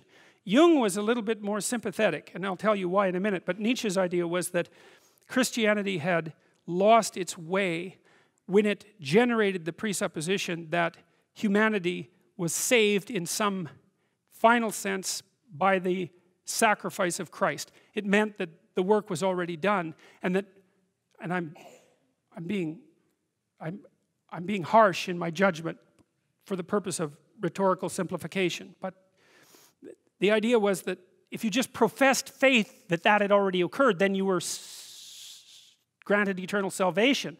It's like, well, it's not so straightforward. And I think that that's what this line actually represents. It says, How do you enter into the kingdom of heaven? And, and again, you can think about that under the aspect of eternity, or you can think about it as a psychological statement. And the answer is quite straightforward is that you do what Noah did to make him immune from the flood and that's to walk with God. And that's what this sermon is about. It's laying out the practical elements of that. And the practical elements are aim at the highest possible good and play that out in the world. And then you may have the opportunity to inhabit the highest possible good that you're positing into existence. Perhaps not, but you can't think of any more practical way of going about that I mean, if you build a house, then maybe you can live in it. If you don't build a house, you're not going to be able to live in it. If you build a good house, then you'll be able to live in a good house. And if you build a perfect house, then maybe you can live in a perfect house. But if you just say that the house has already been built for you, and that you can just say that the house is being built for you, well, then the probability that you're going to be able to live where you need to live is there's no probability that you're going to be able to live where you need to live. Many will say to me in that day, that's the judgment day, Lord, have we not prophesied in thy name? And in thy name have cast out devils, and in thy name done many wonderful works. And then I will profess unto them, I never knew you. Depart from me, you that work iniquity. You see, that's judgment day, you know. That's an archetypal idea. And partly it's archetypal because every day is judgment day. And the part of you that the part of you that's equivalent to the logos, say, the part of you that's your own ideal, sits in eternal judgment on your iniquity. And that's the, that's the source of guilt and shame and, and, and withdrawal, and then resentment, and then murderousness, and then genocide. It's because you can intuit the ideal, and the problem with intuiting the ideal is that an ideal is always a judge. There's no difference between an ideal and a judge. And so you're eternally judged by your own ideal. If you have no ideal, well, then you've got no direction and no meaning in your life. And then, of course, the more extreme the ideal, the harsher the judge. That's actually why Jung, Jung was very curious about why the book of Revelation was tacked onto the Bible, because the book of Revelation, that's a very weird book. And, you know, in, in, in the Gospels, Christ is, I would say, perhaps primarily merciful. There, there's a, maybe a war in his character between truth and mercy, but it's one of the two, perhaps mercy. And Jung's observation was the gospel Christ was too merciful. And that's why the book of Revelation was tapped on, tacked on to the New Testament, because in the book of Revelation, Christ, who's the ideal, who's above the pyramid, right, the transcendent ideal, is nothing but a judge, and everyone fails. And of course, the ultimate ideal is the ultimate judge. And so that's the archetypal reality there. And you can say, well, I don't want to be judged, and so I'll dispense with the ideal. But then you're Cain, because Cain is exactly the person who dispenses with the ideal. And so there's no escaping from it. There's no escaping from eternal judgment. That's the archetypal story. You know, people put a lot of work into these representations, you know, and there's thousands of them. They weren't messing around. These are serious pieces of work. You know, we don't understand them, but that doesn't mean that the people who created them didn't know what they were doing. These were geniuses who created these pieces of work. It's not like they understood in an articulated manner exactly what they were trying to represent. But what they were representing were the, the metaphors at the core of our culture. To the degree that our culture is functional and good, these are the metaphors upon which it's founded. And they're not for the faint of heart, you know you say religion is the opiate of the masses. It's like, yeah, then how do you explain this? Exactly. You know, because if it was opiates you're after, you might just get rid of that panel. Especially when the other thing that's so interesting about the proposition, if you look at Revelations and in Revelation and you look at the judgment, almost everyone ends up on the right side of this panel. So if you were just conjuring up some sort of pathetic wish fulfillment, why in the world would you tilt the scales in that manner? You think that's supposed to make people feel good? I don't think so. There's almost nothing about this picture that should make people feel good. It should, if you understand it properly, it should terrify you to the depths of your soul. That's what the picture is for. Therefore, whoever heareth these sayings of mine and doeth them, I will liken him unto a wise man which built his house upon a rock. And the rain descended, and the winds blew, and the floods came and beat upon the house, and it fell not, for it was founded upon a rock. And everyone that heareth these sayings of mine and doeth them not shall be likened unto a foolish man which built his house upon the sand. And the rain descended, and the floods came, and the winds blew and beat upon that house, and it. Oh, I made a mistake. And it fell, for it was founded upon sand. and it came to pass. This is a very interesting line. I really, I really, you know, now and then you run across lines in in this particularly happens in biblical settings. You run across lines that you cannot believe actually exist. You cannot imagine how someone could have imagined up and conjured up the line. And, and, and, these two lines are like that as far as I'm concerned. And it came to pass when Jesus had ended these sayings that people were astonished at his doctrine, for he taught them as one having authority and not as the scribes. And that's something so interesting, you know, because that was another thing that really I didn't really appreciate about the churches that I attended to, and that would be that the lessons were taught by scribes and the words were mouthed, but there was no power in them. There was no meaning in them. It was, it was as if, well, it was like when I was 20 years old and I was saying all these things I didn't mean. You know, they were words that sounded good. They were like like gilded cloth, I suppose, that you can that you can wrap around yourself, but there's no substance to them. And there's a big difference between listening to something that has substance and listening to something that is spoken because it sounds like it should sound good. And this line says that whoever spoke the lines that we just described was someone who sounded like he knew what he was talking about and not someone who was just repeating something for the sake of sounding good. And it certainly seems to me that the lines that we just reviewed have the awesome impact of authority. Back to Noah. But Noah found grace in the eyes of the Lord. These are the generations of Noah. Noah was a just man and perfect in his generations, and Noah walked with God. And Noah begat three sons Shem, Ham, and Japheth. The earth was also corrupt before God, and, and the earth was full of violence, filled with violence. Any of you see the new NRA ad? You might want to look that up. I would say that's the most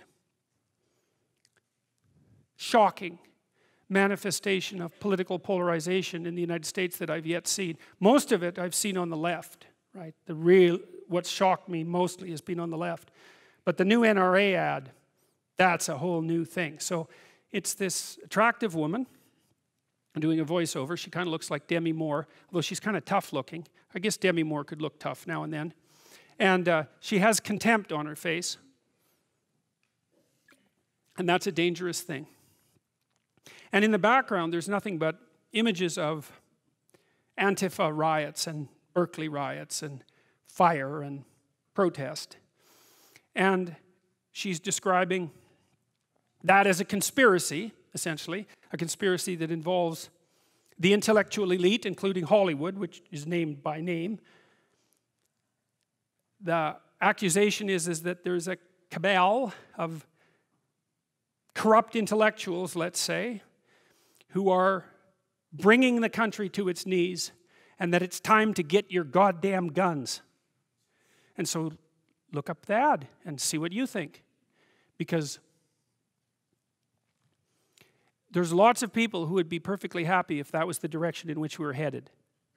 And one of the things that I'm hoping is that we might be able to talk our way through it. But we're in a situation where every act of individual idiocy will push us one iota closer to the brink. And that'll make the 15% of the population or 30% of the population who would love to see everything degenerate into chaos perfectly happy because that's their aim. The earth also was corrupt before God, and the earth was filled with violence. And God looked upon the earth, and behold, it was corrupt, for all flesh has corrupted his way upon the earth. And Noah said, God said unto Noah, The end of all flesh is come before me, for the earth is filled with violence through them, and behold, I will destroy them with the earth. Make thee an ark of gopher wood. Rooms shalt thou make in the ark and that and shalt pitch it within and without with pitch. And this is the fashion which thou shalt make of it. The length of the ark shall be 300 cubits, the breadth of it 50 cubits, and the height of it 30 cubits. A window shalt thou make to the ark, and in a cubit shalt thou finish it above. And the door of the ark shalt thou set in the side thereof, with lower, second, and third stories shalt thou make it. And behold, I, even I, do bring a flood of waters upon the earth to destroy all flesh, wherein is the breath of life from under heaven, and everything that is in the earth shall die. But with thee I will establish my covenant, and thou shalt come into the ark, thou and thy sons and thy wife and thy sons' wives with thee. That's a fairly optimistic twist on the story because not only is it Noah, but he gets to save his whole family and down a couple of generations. And so that's a good thing to think about. It's like as things, you know, I had this client, um, and she had a very hard upbringing, I would say. Not a lot of encouragement, to say the least. Let's say a fair bit of discouragement. And she had a son, and what was really interesting about her in relationship to her son is that all the things that she could have learned to do to him, given her extensive experience with being made as miserable as possible by someone who was hell bent on bringing her to her knees, she refused to do to her son. Right? She learned the opposite lesson from all her misery and torment, which was not to move that forward down the generations. And so the idea here is that if you walk properly and aim properly and act properly, if you walk with God in the manner that we've been discussing, is that perhaps that isn't only good for you, perhaps it's also the thing that will save your family. And then by implication, perhaps save society. Because that's exactly what happens with Noah, right? First it's him and then it's his family, but everything else goes. And so by saving himself, by acting properly, and by saving his family, he actually saves the world. It's interesting, you know, like the most profound people that I've read who've meditated deeply on the problem, say, of totalitarian catastrophe, and I would put Alexander Solzhenitsyn at the top of that list. You know, the, his, his entire corpus, three volumes, 700 pages long each, in tiny type, is a long scream about the absolute necessity of individual, the absolute necessity of individual honesty and ethical behavior as the only bulwark against totalitarian catastrophe. And, the, and I've read many writers who've attempted to diagnose the problems of the 20th century. And I think Solzhenitsyn, he came to the same conclusions that Viktor Frankl came to as a consequence of his experiences in the Nazi concentration camps.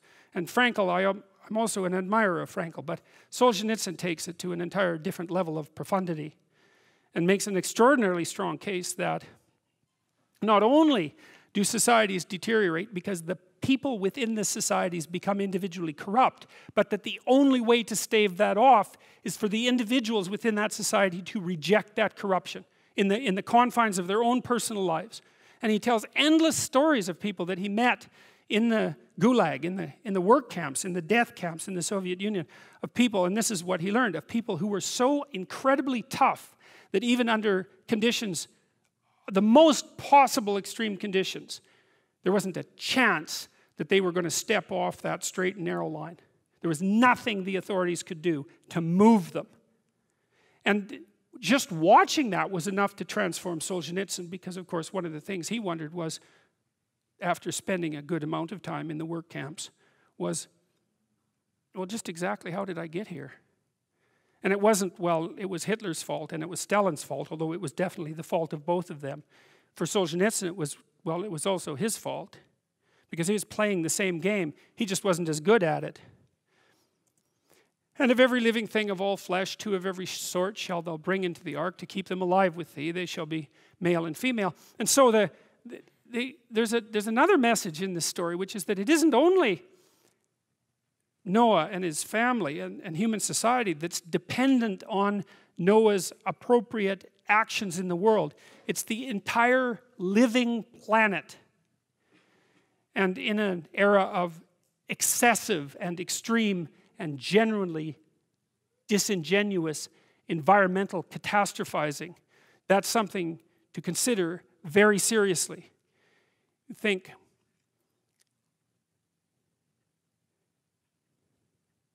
perhaps there's nothing better that you can do for everything, all things considered, including those things that are outside the confines of human society, than to get your act together and align yourself properly along all of the dimensions of your being from, from, from the tiniest microcosm to the, to the ultimate macrocosm. And that's the way that all of being is redeemed.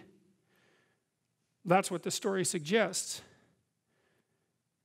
And we read it, you know, a cynical modern people, we read it as if it was written by primitive people who thought that it was really the case that someone could build a boat and put two of every kind into it and thereby save the world. It's embarrassing to see things interpreted in a manner that shallow, especially by people who don't have ignorance as a justification. You know, these stories have to appeal to everyone, right? And there's lots of people in the world who aren't very bright. And so they tend to take things concretely, like a child would take things concretely if you read them a story. And this story can be taken concretely. But it has to be because these stories have to be for everyone. But if you're sophisticated, that doesn't mean that you should dismiss it as if it's written for a child. It's maybe you have the obligation to look a bit deeper and think for a moment that it wouldn't have been conserved for these many thousands of years if there wasn't something more to it than a casual intellectual dismissal would indicate. And take thou unto thee of all food that is eaten, and thou shalt gather it to thee, and it shall be food for thee and for them. Thus did Noah. According to all that God commanded him, so did he. And the Lord said unto Noah, Come thou and all thy house into the ark, for thee I have seen righteous before me in this generation. Of every clean beast thou shalt take to thee by sevens, the male and his female, and of beasts that are clean, but not clean by two, the male and his female. And of fowls also of the air by sevens, the male and the female, to keep seed alive upon the face of all the earth. For yet seven days I will cause it to rain upon the earth forty days and forty nights, and every living substance that I have made will I destroy from off the face of the earth. And Noah did according unto all that the Lord commanded him. And Noah was 600 years old when the flood of waters was upon the earth. And Noah went in, and his sons and his wife and his sons' wives with him into the ark because of the waters of the flood, of clean beasts and of beasts that are not clean, and of fowls and of everything that creepeth upon the earth. They went in two and two unto Noah into the ark, the male and the female, as God had commanded Noah. And it came to pass after seven days that the waters of the flood were upon the earth. In the six hundredth year of Noah's life, in the second month, the seventeenth day of the month, the same day, were all the fountains of the great deep broken up, and the windows of heaven were opened, and the rain was upon the earth forty days and forty nights. In the self same day entered Noah and Shem and Ham and Japheth, sons of Noah, and Noah's wife, and the three wives of his sons with them into the ark. They and every beast after his kind, and all of the cattle after their kind, and every creeping thing that creepeth upon the earth after his kind, and every fowl after his kind, every bird of every sort. And they went into Noah, unto Noah into the ark, two and two of all flesh, wherein is the breath of life.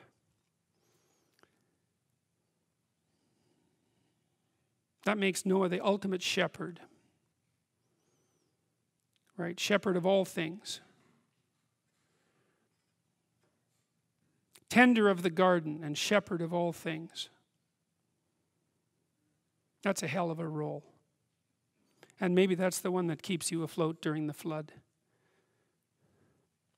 And they that went in went in male and female of all flesh, as God had commanded him, and the Lord shut him in. And the flood was forty days upon the earth, and the waters increased, and bare up the ark, and it was lift up above the earth, and the waters prevailed, and were increased greatly upon the earth. Fifteen cubits upward did the waters prevail, and the mountains were covered. And all flesh died that moved upon the earth, both of fowl and of cattle and of beast and of every creeping thing that creepeth upon the earth, and every man, and all in whose nostrils was the breath of life, of all that was in the dry land, died. And every living substance was destroyed, which was upon the face of the earth, both man and cattle, and the creeping things, and the fowl of the heaven, and they were destroyed from the earth, and Noah only remained alive, and they that were with him in the ark. And the waters prevailed upon the earth a 150 days. And God remembered Noah and every living thing, and all the cattle that was with him in the ark. And God made a wind to pass over the earth, and the waters receded. The fountains also of the deep and the windows of heaven were stopped, and the rain from heaven was restrained, and the waters returned from off the earth continually. And after the end of the 150 days, the waters were abated. And the ark rested in the seventh month, on the seventeenth day of the month, upon the mountains of Ararat. And the waters decreased continually until the tenth month. In the tenth month, on the first day of the month, were the tops of the mountains seen. And it came to pass at the end of forty days that Noah opened the window of the ark which he had made, and he sent forth a raven, which went to and fro until the waters were dried up from off the earth. And he also sent forth a dove from him to see if the waters were abated from off the face of the ground. But the dove found no rest for the sole of her foot, and she returned unto him in the ark, for the waters were on the face of the whole earth. Then he put forth his hand and took her and pulled her in unto him into the ark. And he stayed yet another seven days. And again he sent forth the dove out of the ark. And the dove came into him in the evening, and lo, in her mouth was an olive leaf plucked off. So Noah knew that the waters were abated from off the earth. And he stayed there yet another seven days, and sent forth the dove, which returned not again unto him any more. And it came to pass in the six hundredth and first year, in the first month, the first day of the month, the waters were dried up from off the earth. And Noah removed the covering of the ark and looked up, and behold, the face of the ground was dry. And in the second month, on the seventh and twentieth day of the month, was the earth dried. And God spake unto Noah, saying, Go forth of the ark, thou and thy wife and thy sons and thy sons' wives with thee. Bring forth with thee every living thing that is with thee, of all flesh, both of fowl and of cattle, and of every creeping thing that creepeth upon the earth, that they may breed abundantly in the earth and be fruitful and multiply upon the earth. And Noah went forth, and his sons and his wife and his sons' wives with him, every beast, creeping thing, every fowl, and whatsoever creepeth upon the earth after their kinds went forth out of the ark. And Noah builded an altar unto the Lord, and took of every clean beast and of every clean fowl, and offered burnt offerings on the altar. Immediate return to the sacrificial motif. And the Lord smelled a sweet savor, and that's Noah's proper sacrifice. And the Lord said into his heart, I will not again curse the ground any more for man's sake, for the imagination of man's heart is evil from his youth. Neither will I again smite any more every living thing as I have done, while the earth remaineth, seed time and harvest, and cold and heat, and summer and winter, and day and night shall not cease. And God blessed Noah and his sons and said unto them, Be fruitful and multiply, and replenish the earth. And the fear of you and the dread of you shall be upon every beast of the earth, and upon every fowl of the air, upon all that moveth upon the earth, upon all the fishes of the sea. Into your hand are they delivered.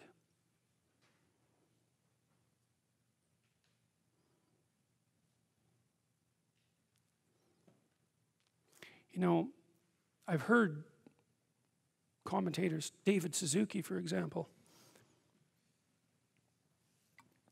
who claim that the substructure of Western culture,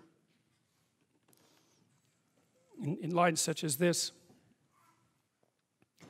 deliver the earth over to human beings and, and justify our ravaging of the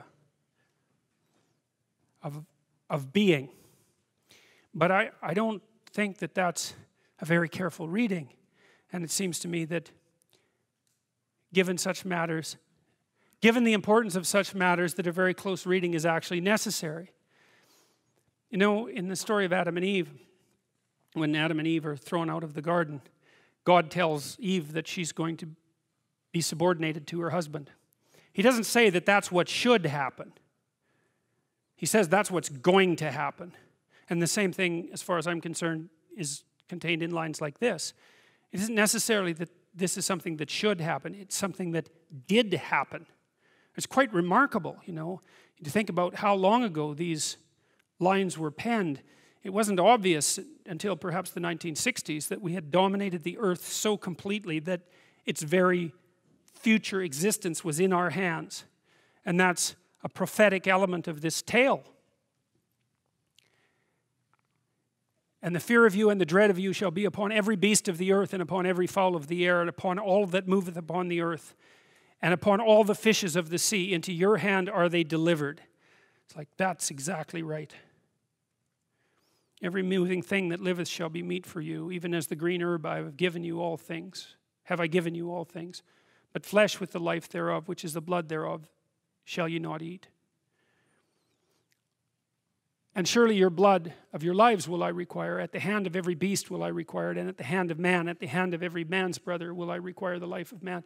This is a hard section to interpret, but what it means is something like this God describes the dominion over the planet that revivified humanity will have and notes the power that goes along with that and then puts a limitation on it. And the limitation is maintain the sanctity of life despite your power. And although it's not easy to extract from the manner in which this is being translated, what God is telling Noah is that if you kill yourself, if you kill someone else, and if any animal kills a human being, that there will be a price to pay for that. So there's a, an opportunity, which is that the descendants of Noah can dominate the earth, but there's a moral limitation placed on that, which is nonetheless, life itself is to be regarded as sanctified and sacred. Whoever sheddeth man's blood, by man shall his blood be shed. For in the image of God made he man. And you, be you fruitful and multiply. Bring forth abundantly in the earth and multiply therein.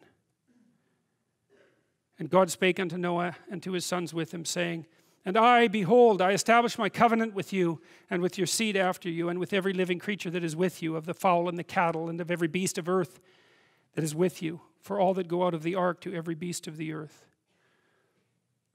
and I will establish my covenant with you. Neither shall all flesh be cut off any more by the waters of a flood, neither shall there be any more a flood to destroy the earth. And God said, This is the token of the covenant which I make between me and you and every living creature that is with you for perpetual generations. I do set my bow in the cloud, and it shall be for a token of a covenant between me and the earth. And it shall come to pass when I bring a cloud over the earth that the bow shall be seen in the cloud, and I will remember my covenant which is between me and you and every living creature of all flesh, and the water shall no more become a flood to destroy all flesh. There's a negotiated agreement there of sorts, and the negotiated agreement is, as far as I can tell, to the degree that humanity agrees to act in the manner of Noah, then the threat of catastrophic destruction will remain at bay.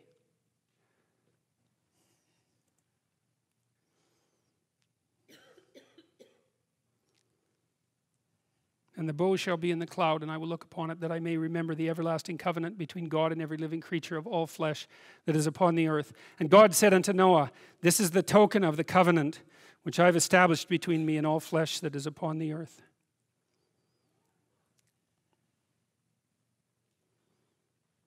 This is the token of the covenant which I have established between me and all flesh that is upon the earth.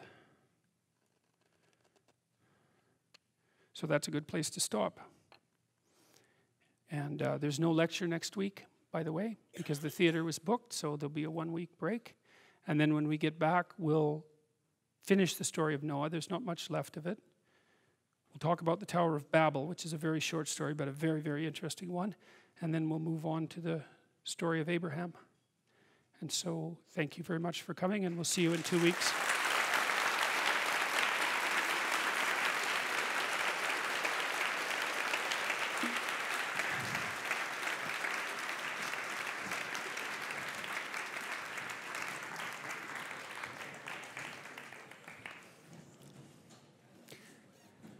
Now, is the person who has the notification for the meetup after this here, and do they have the notification? Okay, because if you give that to me this time, I'll remember to read it before everyone leaves. So, do you want to start? Okay, so see, let's see if the mic is working because lots of people will listen to this question, and so, okay, okay. So you said on a recent live stream that you were too, you didn't have enough energy to answer this question, but you said it was intriguing. So I was wondering if you had the energy to answer how someone might help someone that has borderline personality disorder. By example. By example. Give an example. No. No, no, I, I, don't, I don't mean that precisely. I mean that the, let's not take borderline personality disorder precisely as, as the example, okay? I understand the, the, the question. The question to some degree is how do you help someone that's lost? And the answer to that is if they aren't willing to not be lost, you cannot help them. And I would also say that as a clinician. You see, I mean, it's, an, it's a statement that's informed, I would say, by my mythological knowledge, but also by straight clinical wisdom, not, not mine particularly.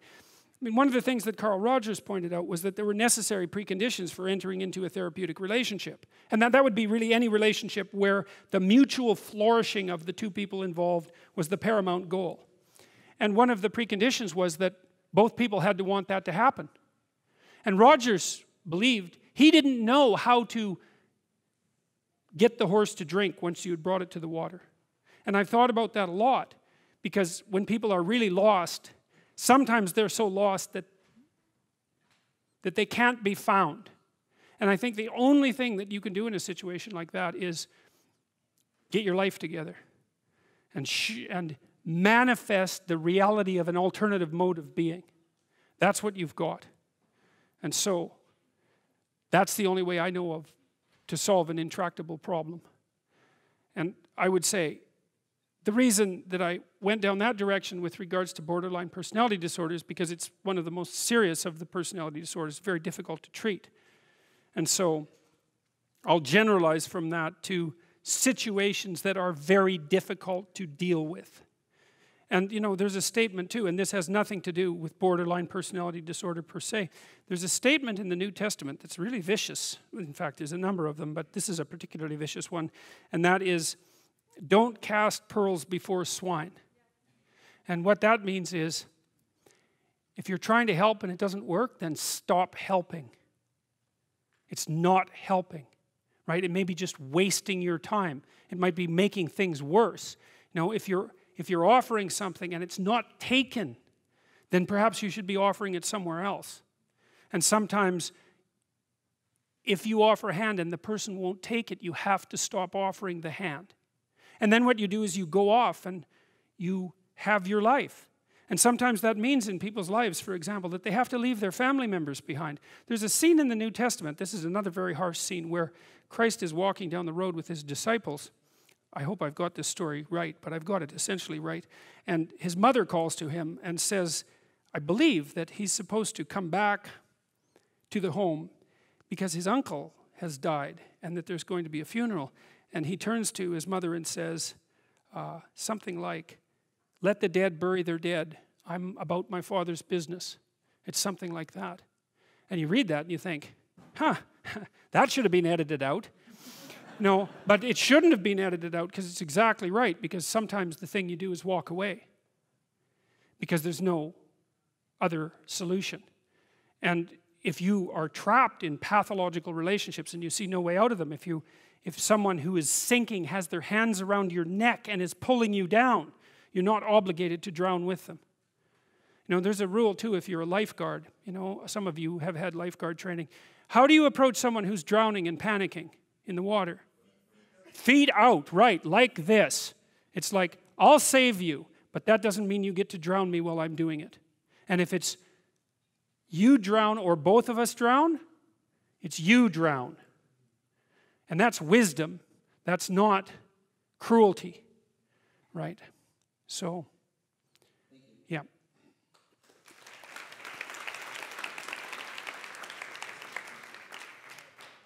couple of questions about dialogue and engaging in dialogue with people. So the first um, issue that I face is uh, I have a very high need for intellectual stimulation, and I can't get that with most people. It's it's something like um, you can you can have a dialogue for a time, but then they, it's high trait openness.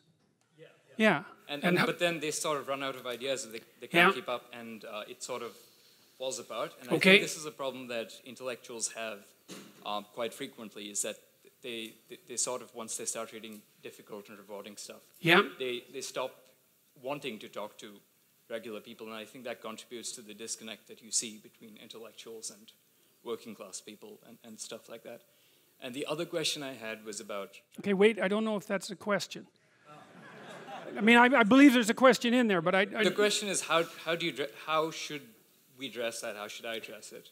And uh, is that something that can be addressed? Well, part of part of the answer to that is that's what the universities were for. I mean, you know, not everybody is equipped to or interested in engaging in high level discussion of abstract and creative ideas. You know, you hear this idea that everyone's creative. That's a lie. It's as straightforward as that. True creativity is very, very rare. And so, and if you happen to be a creative person or if you happen to be someone who's profoundly interested in ideas, you are in a pronounced minority, just as you are if you happen to be extremely extroverted or extremely agreeable or extremely conscientious. These are minority issues. And what you do is you find like minded people who are capable of engaging that. We know heavyweight, heavyweight weightlifters compete with heavyweight weightlifters for a reason, and everyone thinks that's fine. And the same thing applies to intellectual and creative endeavors. So, what you do is you try to find a community where that's that's the nature of the community and you likely have to find a relationship like that as well you know so. I don't think so. I think what contributes to the siloing is the arrogance that goes along with it. Because if you're you can be interested in ideas and you can be creative. Um, well that's the arrogance of the intellect right? That's the thing the catholic church had warned about for centuries is the arrogance of the intellect. So because if you're if you're wise as well as smart, and there is no relationship between being smart and being wise, they are not the same thing. There's no quick pathway from smart to wise. And many of the people who I've known who were very wise were, well, some of them were intellectually impaired and were still wise, you know. So it's the arrogance that brings up the block. And I see this, for example, happening in the United States in particular, because the last time I went down there, for example, I, was, I had friends down there, and, and, and some of those friends are very, very smart people. And some of them were talking about the Trump voters, and they were talking about the Trump voters with contempt. And I thought, you better watch that, because that's 50% of the damn population. And it might be convenient to think that they're stupid and beneath you but it's not conducive to a civil state. And there's no evidence that it's true because there isn't a straight line between intelligent and wise. And so I think that if, you if your character is developed and you're intelligent, you can have your siloed creative community, but you develop enough wisdom so that you can see all the things that people can do that are of high ethical utility that are outside the intellectual domain. You know, and I think that's why in the New Testament, I think that's why Christ is a carpenter. Right? Because, well, first of all, carpenter is one of those jobs that when you're dishonest, it manifests itself immediately because what you build falls down. And so if you're an honest carpenter, you build a good house. So, so that, there's a nice metaphor there. But it's also, it's also um, a warning, in some sense, against the, the equation of intellectual brilliance with moral superiority. And so, if the intellects would drop their moral superiority, and fat chance there is of that, then the divide between the working class, say, and the elite would, would resolve. And there's every reason to have respect for decent working class people. I mean, it's on their labor, as the left wingers at least hypothetically agree, that the entire edifice of the culture is, is resting. So you can have your cake and eat it too, but you have to not assume that your niche makes you superior. And it's very difficult for smart people, especially smart. There's this scene in Nietzsche's, it's in Thus Spake Zarathustra, where Zarathustra, the prophet, comes down from the mountain and he comes into a public square. And there's this crowd around this little midget who's only about this high, who has a gigantic ear, and everyone is marveling at him. Well, that's what the modern intellect is like. It's a midget with a giant, well, mouth generally, not an ear. And the, the, the being is underdeveloped, but the intellect is hyper activated. And, and it makes the person extraordinarily unbalanced. And it's partly because they, A, they can't compete outside the intellectual realm. And that makes them very bitter because they tend to think, well, God, I'm so smart, everything should just come to me. It's like, sorry, that's not how the world works. And, and it, it also, that, that, and that, that, that attitude is immediately evident to people that they're talking to when they talk in the manner that they talk, if they are arrogant intellectuals of that sort. You see that in The Simpsons did a good job of that with Comic Book Guy, right? I mean, he completely useless in every possible dimension with an IQ of about 160. And it's very annoying to people who have an IQ of 160 that they can also be completely useless. But it happens a lot. So, yeah.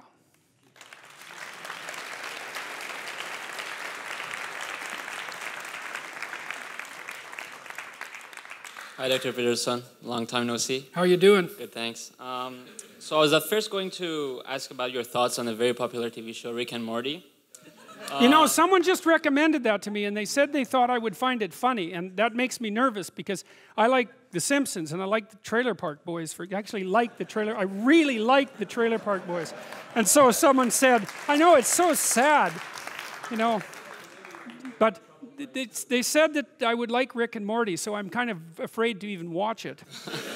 It does have a nihilistic theme to it, I would say. So that which is quite telling of, of the young population, which they, they they fall in love with it. Everyone's talking about it. So Uh-huh. Okay, well, I'll definitely watch it because I've been looking for something to watch when I'm brain dead at night. So, Um, but I decided to tell tailor my question um, from a different angle, uh, if, I, if I may. Um, and it's about um, the case that uh, governments, let's say, such as Russia um, and Iran, they, or even in more extreme cases like ISIS, um, they do not want to conform to the nihilistic aspects of the West. Um, and as a result, they've taken an anti Western approach. Um, as someone with a Middle Eastern background, um, I've been trying to figure out where the origins of um, this hostility, more precisely, comes from, and why things are the way they are. Um, I recently found out uh, that certain uh, key Iranian philosophers and political activists who were partially intellectually responsible uh, for the 1979 Iranian Revolution um, were highly influenced by the anti-Western Heideggerian philosophy. Um, and this is partially why they believe that an Islamic state uh, would uh, it be, be a necessary counterposition uh, to the, to the nihilistic uh, Western thought. Uh, you, I, know that you're also familiar with um, Alexander Dugin, uh, Putin's advisor. yes. Except Dugin doesn't really seem to have a coherent answer. He, he, he says that an answer like that is necessary and that hypothetically it's something that Russia might be able to offer, but the details seem to me somewhat obscure. I mean, the Russians, maybe the Russians are doing what Solzhenitsyn suggested and returning to Orthodox Christianity, although Russia is corrupt enough so that it's very difficult to tell from the outside if that's mere collusion between a corrupt church and a corrupt state or if there's something genuine going on there. Now, you know, the, the, I would say there's a question under your question, which is tyranny or nihilism? Well, that's a good question, man. That's a good question. Well, lots of people would pick tyranny over nihilism. And so, if that's the only choice that people are offered, then, and I also think that tyranny is stronger than nihilism. Because what are you going to do? Organize nihilists? Hardly. well, look at, look at what happened to, what was that thing in Central Park? You know, against the 1%. Jesus, I mean, what a dismal affair that was. We'd like things to be different. How? well, we don't know. It's like,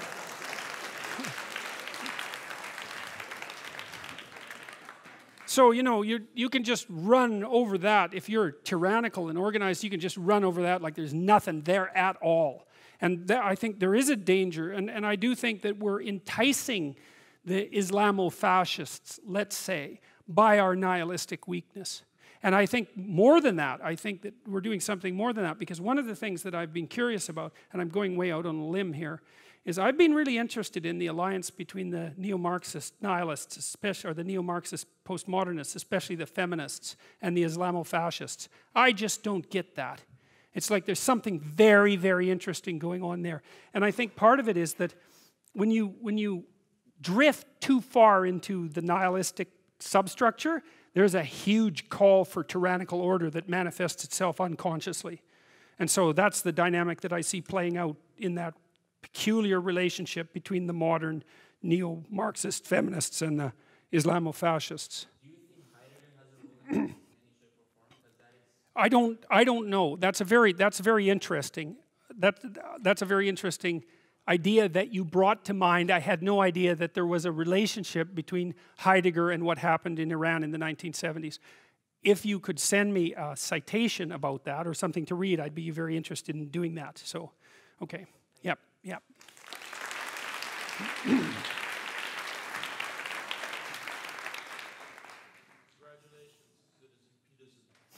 Thank you. That's, that's, that's the closest thing I think I'll experience to, uh, to Arnold Schwarzenegger actually delivering that line. You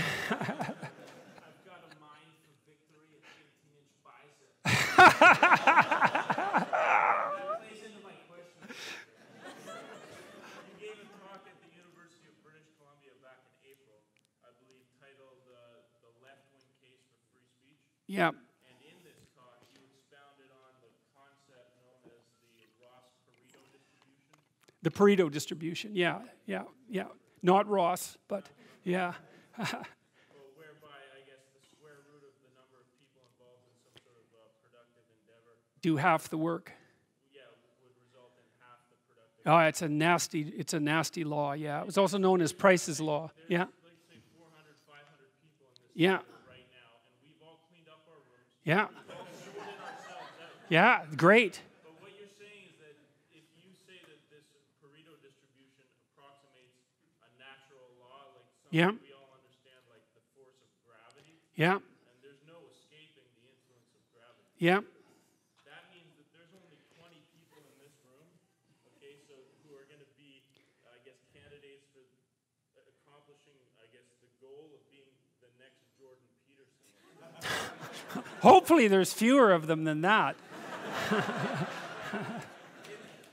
okay, two, two, two things. The, the first is it, it isn't obvious what the population would be that you would compare this population to, right? Because you could say, well, the boundary is the 400 people in this room, but it isn't necessarily the case. The 400 people in this room might be the the square root of the broader population who are interested in this sort of thing. But with the Pareto distribution, what you also see is that it's it's self-similar. And so um, let's say there's 400 people doing something, 20 of them are doing half the work. But if you take those 20, four of them are doing half the work of the 20, and one of the four is doing half the work of the four. And so it, it, so why am I telling you that?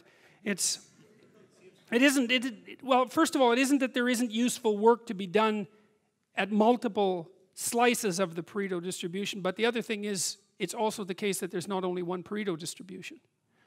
Right, because you might say, well, if it's just the square root of the number of people in a domain that are doing half the work, then you know what do you do with the rest of the people? And the answer to that might be, well, they're in a Pareto, a different Pareto distribution as well, where they're doing something productive. So, Is this just a consequence of, uh, you had identified it, the, uh, how successful or effective the competence hierarchy is? Well, I think I, it's a good question. Like uh, we don't exactly under, so so the basic rule is the look. The basic rule is, for example, if you take hundred scientists in a given domain, ten of them will have published half the papers. And this works with everything. It works with, with every creative domain. The rule applies. So now the question is why? And I, I think the, the answer to that seems to be, and I, I've watched people who've become spectacularly successful. And what happens is that zero is a really bad place to be, right? It's really hard to get out of zero. And that's often why people are trapped in poverty. Because if you have nothing, getting to something is virtually impossible. Once you have something, getting to a little more of something is actually quite a bit easier. And so, what seems to happen, th- this is also called the Matthew principle, right? It's the same principle, so that's a New Testament citation, let's say. The Matthew principle is to those who have everything, more will be given. From those who have nothing, everything will be taken. That's another one of those lines in the New Testament that you'd think that a good editor would have just got rid of. So, but but but I think what it is is that every time you make a step forward, the probability that you'll be able to take the next step forward increases. And it seems to increase in a nonlinear way. So the the, the world that the Matthew principle describes is nonlinear. You know, so you might say, well, what's your trajectory if you're moving upward? Well, it's not this, it's this. What's your trajectory if you're moving downward? It's not this, it's this, right? You fall, you fall, you plummet. You rise, you rise, you transcend. It's something like that. And you might say, well, that's a hell of a world, but whatever. It has to be run by some principle, and that's the principle that it appears to be run by. You identify yourself as a pragmatist on several occasions. Yes. Does that mean that, like, just do whatever works without regards for No, no, no, it doesn't mean that at all.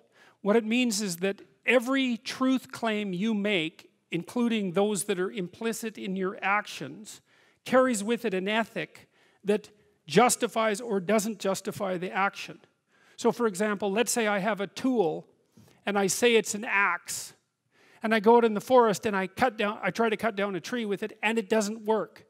It's not an axe. It's something else. And so what the what the there's a good book on pragmatism called The Metaphysical Club, A History of American Ideas. It's one I would really recommend. And what the pragmatists, I can't give you a full answer because this is such a complicated issue, but what the pragmatists were wrestling with back in the late 1800s, the late 1800s, this was William James and his crew in, in, in Boston, um, including a, a, philosopher named C.S. Peirce, who was perhaps America's greatest philosopher. Um, they were wrestling with the same issue that the postmodernists would wrestle with 100 years later, which is things are indefinitely complex and we're not very bright. So, how is it that we can make claims to truth about anything? And what they were, what their, their hypothesis essentially was, is that with every action and with every truth claim, you simultaneously demarcate a territory within which that claim is valid. And you, you determine whether the claim is valid by noting whether your prediction about the outcome of your action or your, or your belief is commensurate, is, is in keeping with. If the outcome is in keeping with the prediction, then what you've said or done is true or good enough. And that's as good as you get. And so that's the pragmatic perspective. And then when, when, when the pragmatists encountered Charles, Dar- Charles Darwin's works, works, they immediately recognized that Darwin had generated a pragmatic solution to the problem of the impossibility of being. The impossibility of being is this there's way more cosmos than there is you. You are going to die. You cannot generate a sufficient solution to the problem of your being.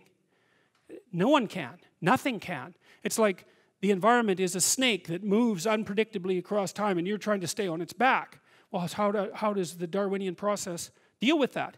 It produces infinite variants, roughly speaking, almost all of which die. And that's how it solves the problem across time. And the things that exist, the, the things that stay alive, are true enough. And that's the best you get. That's the argument I was trying to have with Sam Harris because Harris doesn't take his evolutionary, psycho- his evolutionary theory seriously enough. But we, get, we kept getting bogged down. Anyways, that's, that's the best answer. well, I'd like to agree with that, but it's not true. yeah. Yeah. Yeah.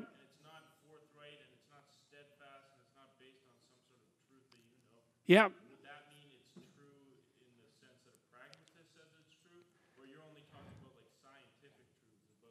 You really do like to ask hard questions, don't you? Um, I think it depends. See, this is also why I like the Piagetian take, let's say, on, on pragmatism, because I think that pragmatism as a philosophy has the limitation that you just described, but only if you think about the games as limited. If you have to play the game in an iterative way, then that issue resolves itself. And the game theorists have done a good job of mapping that out. It's like you could say, let's say, pragmatically speaking, there's no reason I shouldn't deceive you once if I can get what I want. It's yeah, yeah, except that I'm probably not only going to interact with you once, I'm going to interact with you a lot. And even if it isn't you that I interact with, it's going to be a bunch of beings that are so much like you that it might as well be you. Might as well be you. It's going to be me, if nothing else. And so the, the pragmatic game stretched across time would include the necessity of iterability in relationship to the validations of the truth claims. That's, that's how it looks to me. I'm gonna, I'm, I'm gonna, I, am gonna stop you. If, if, say that again. Yes. Yes. Thank you. Yes, but that's not all I am.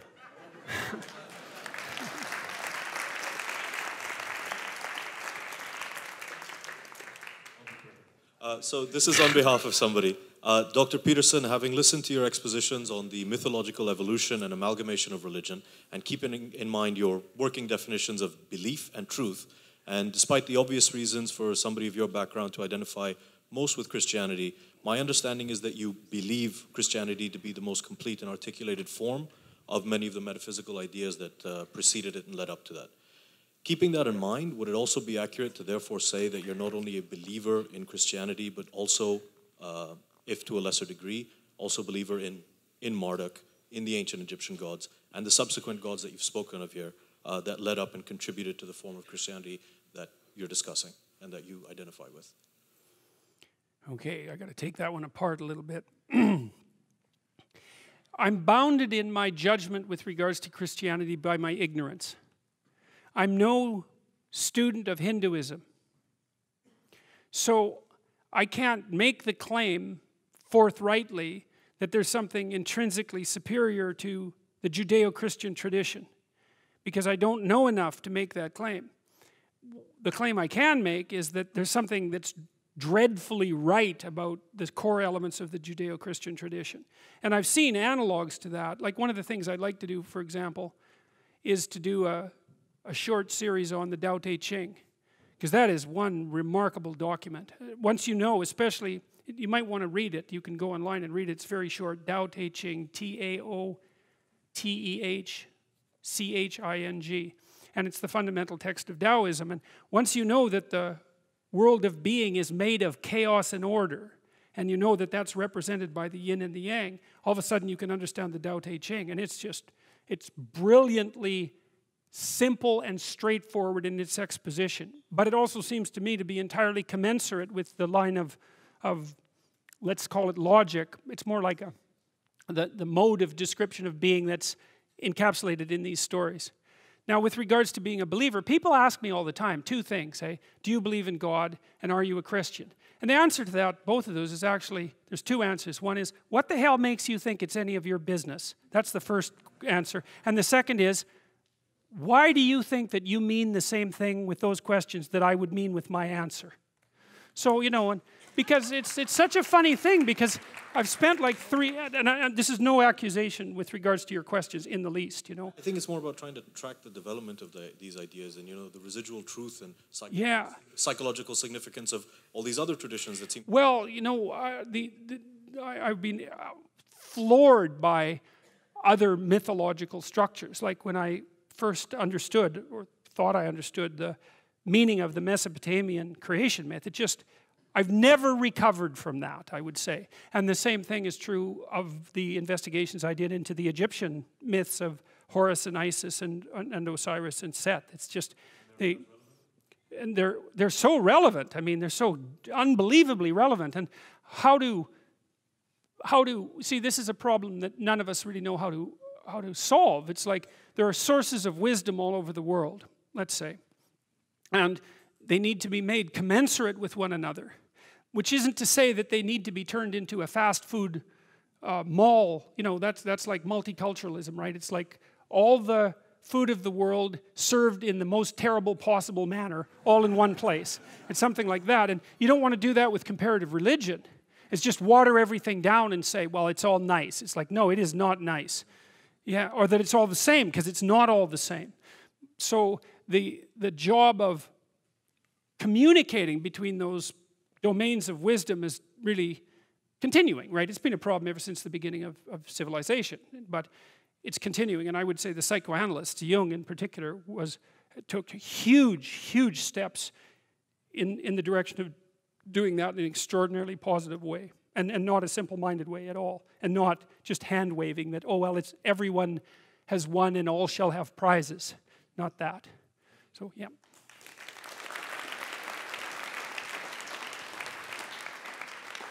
Last question.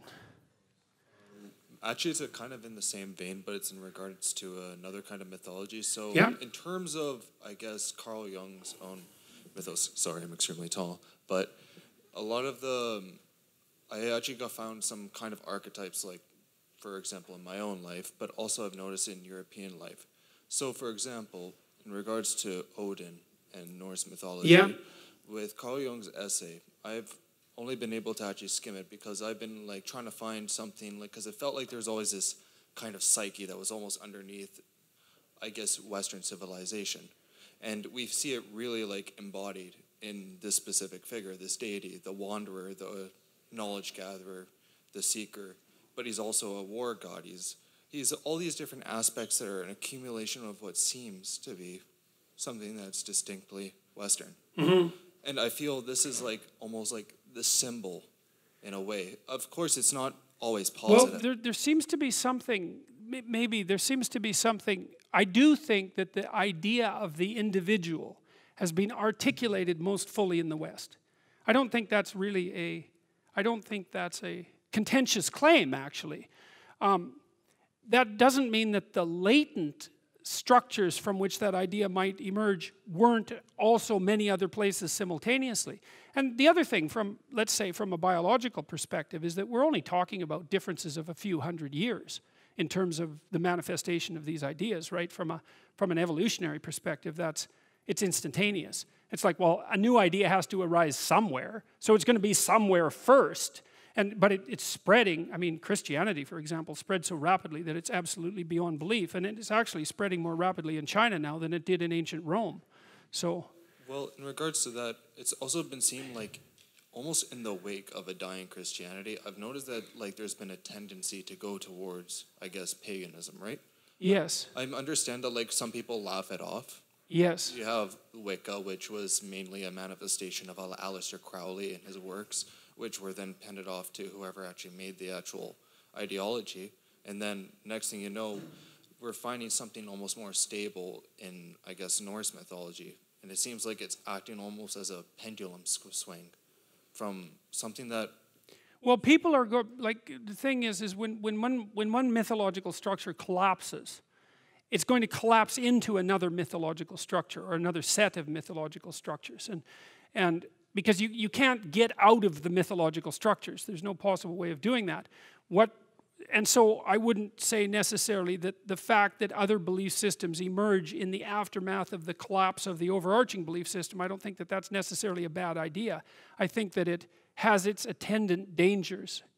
And so I should stop because I'm starting to get tired and I'm not going to be able to formulate any clearer answers than that. And it's also 10 o'clock, so we also do have to stop. So. Thank you.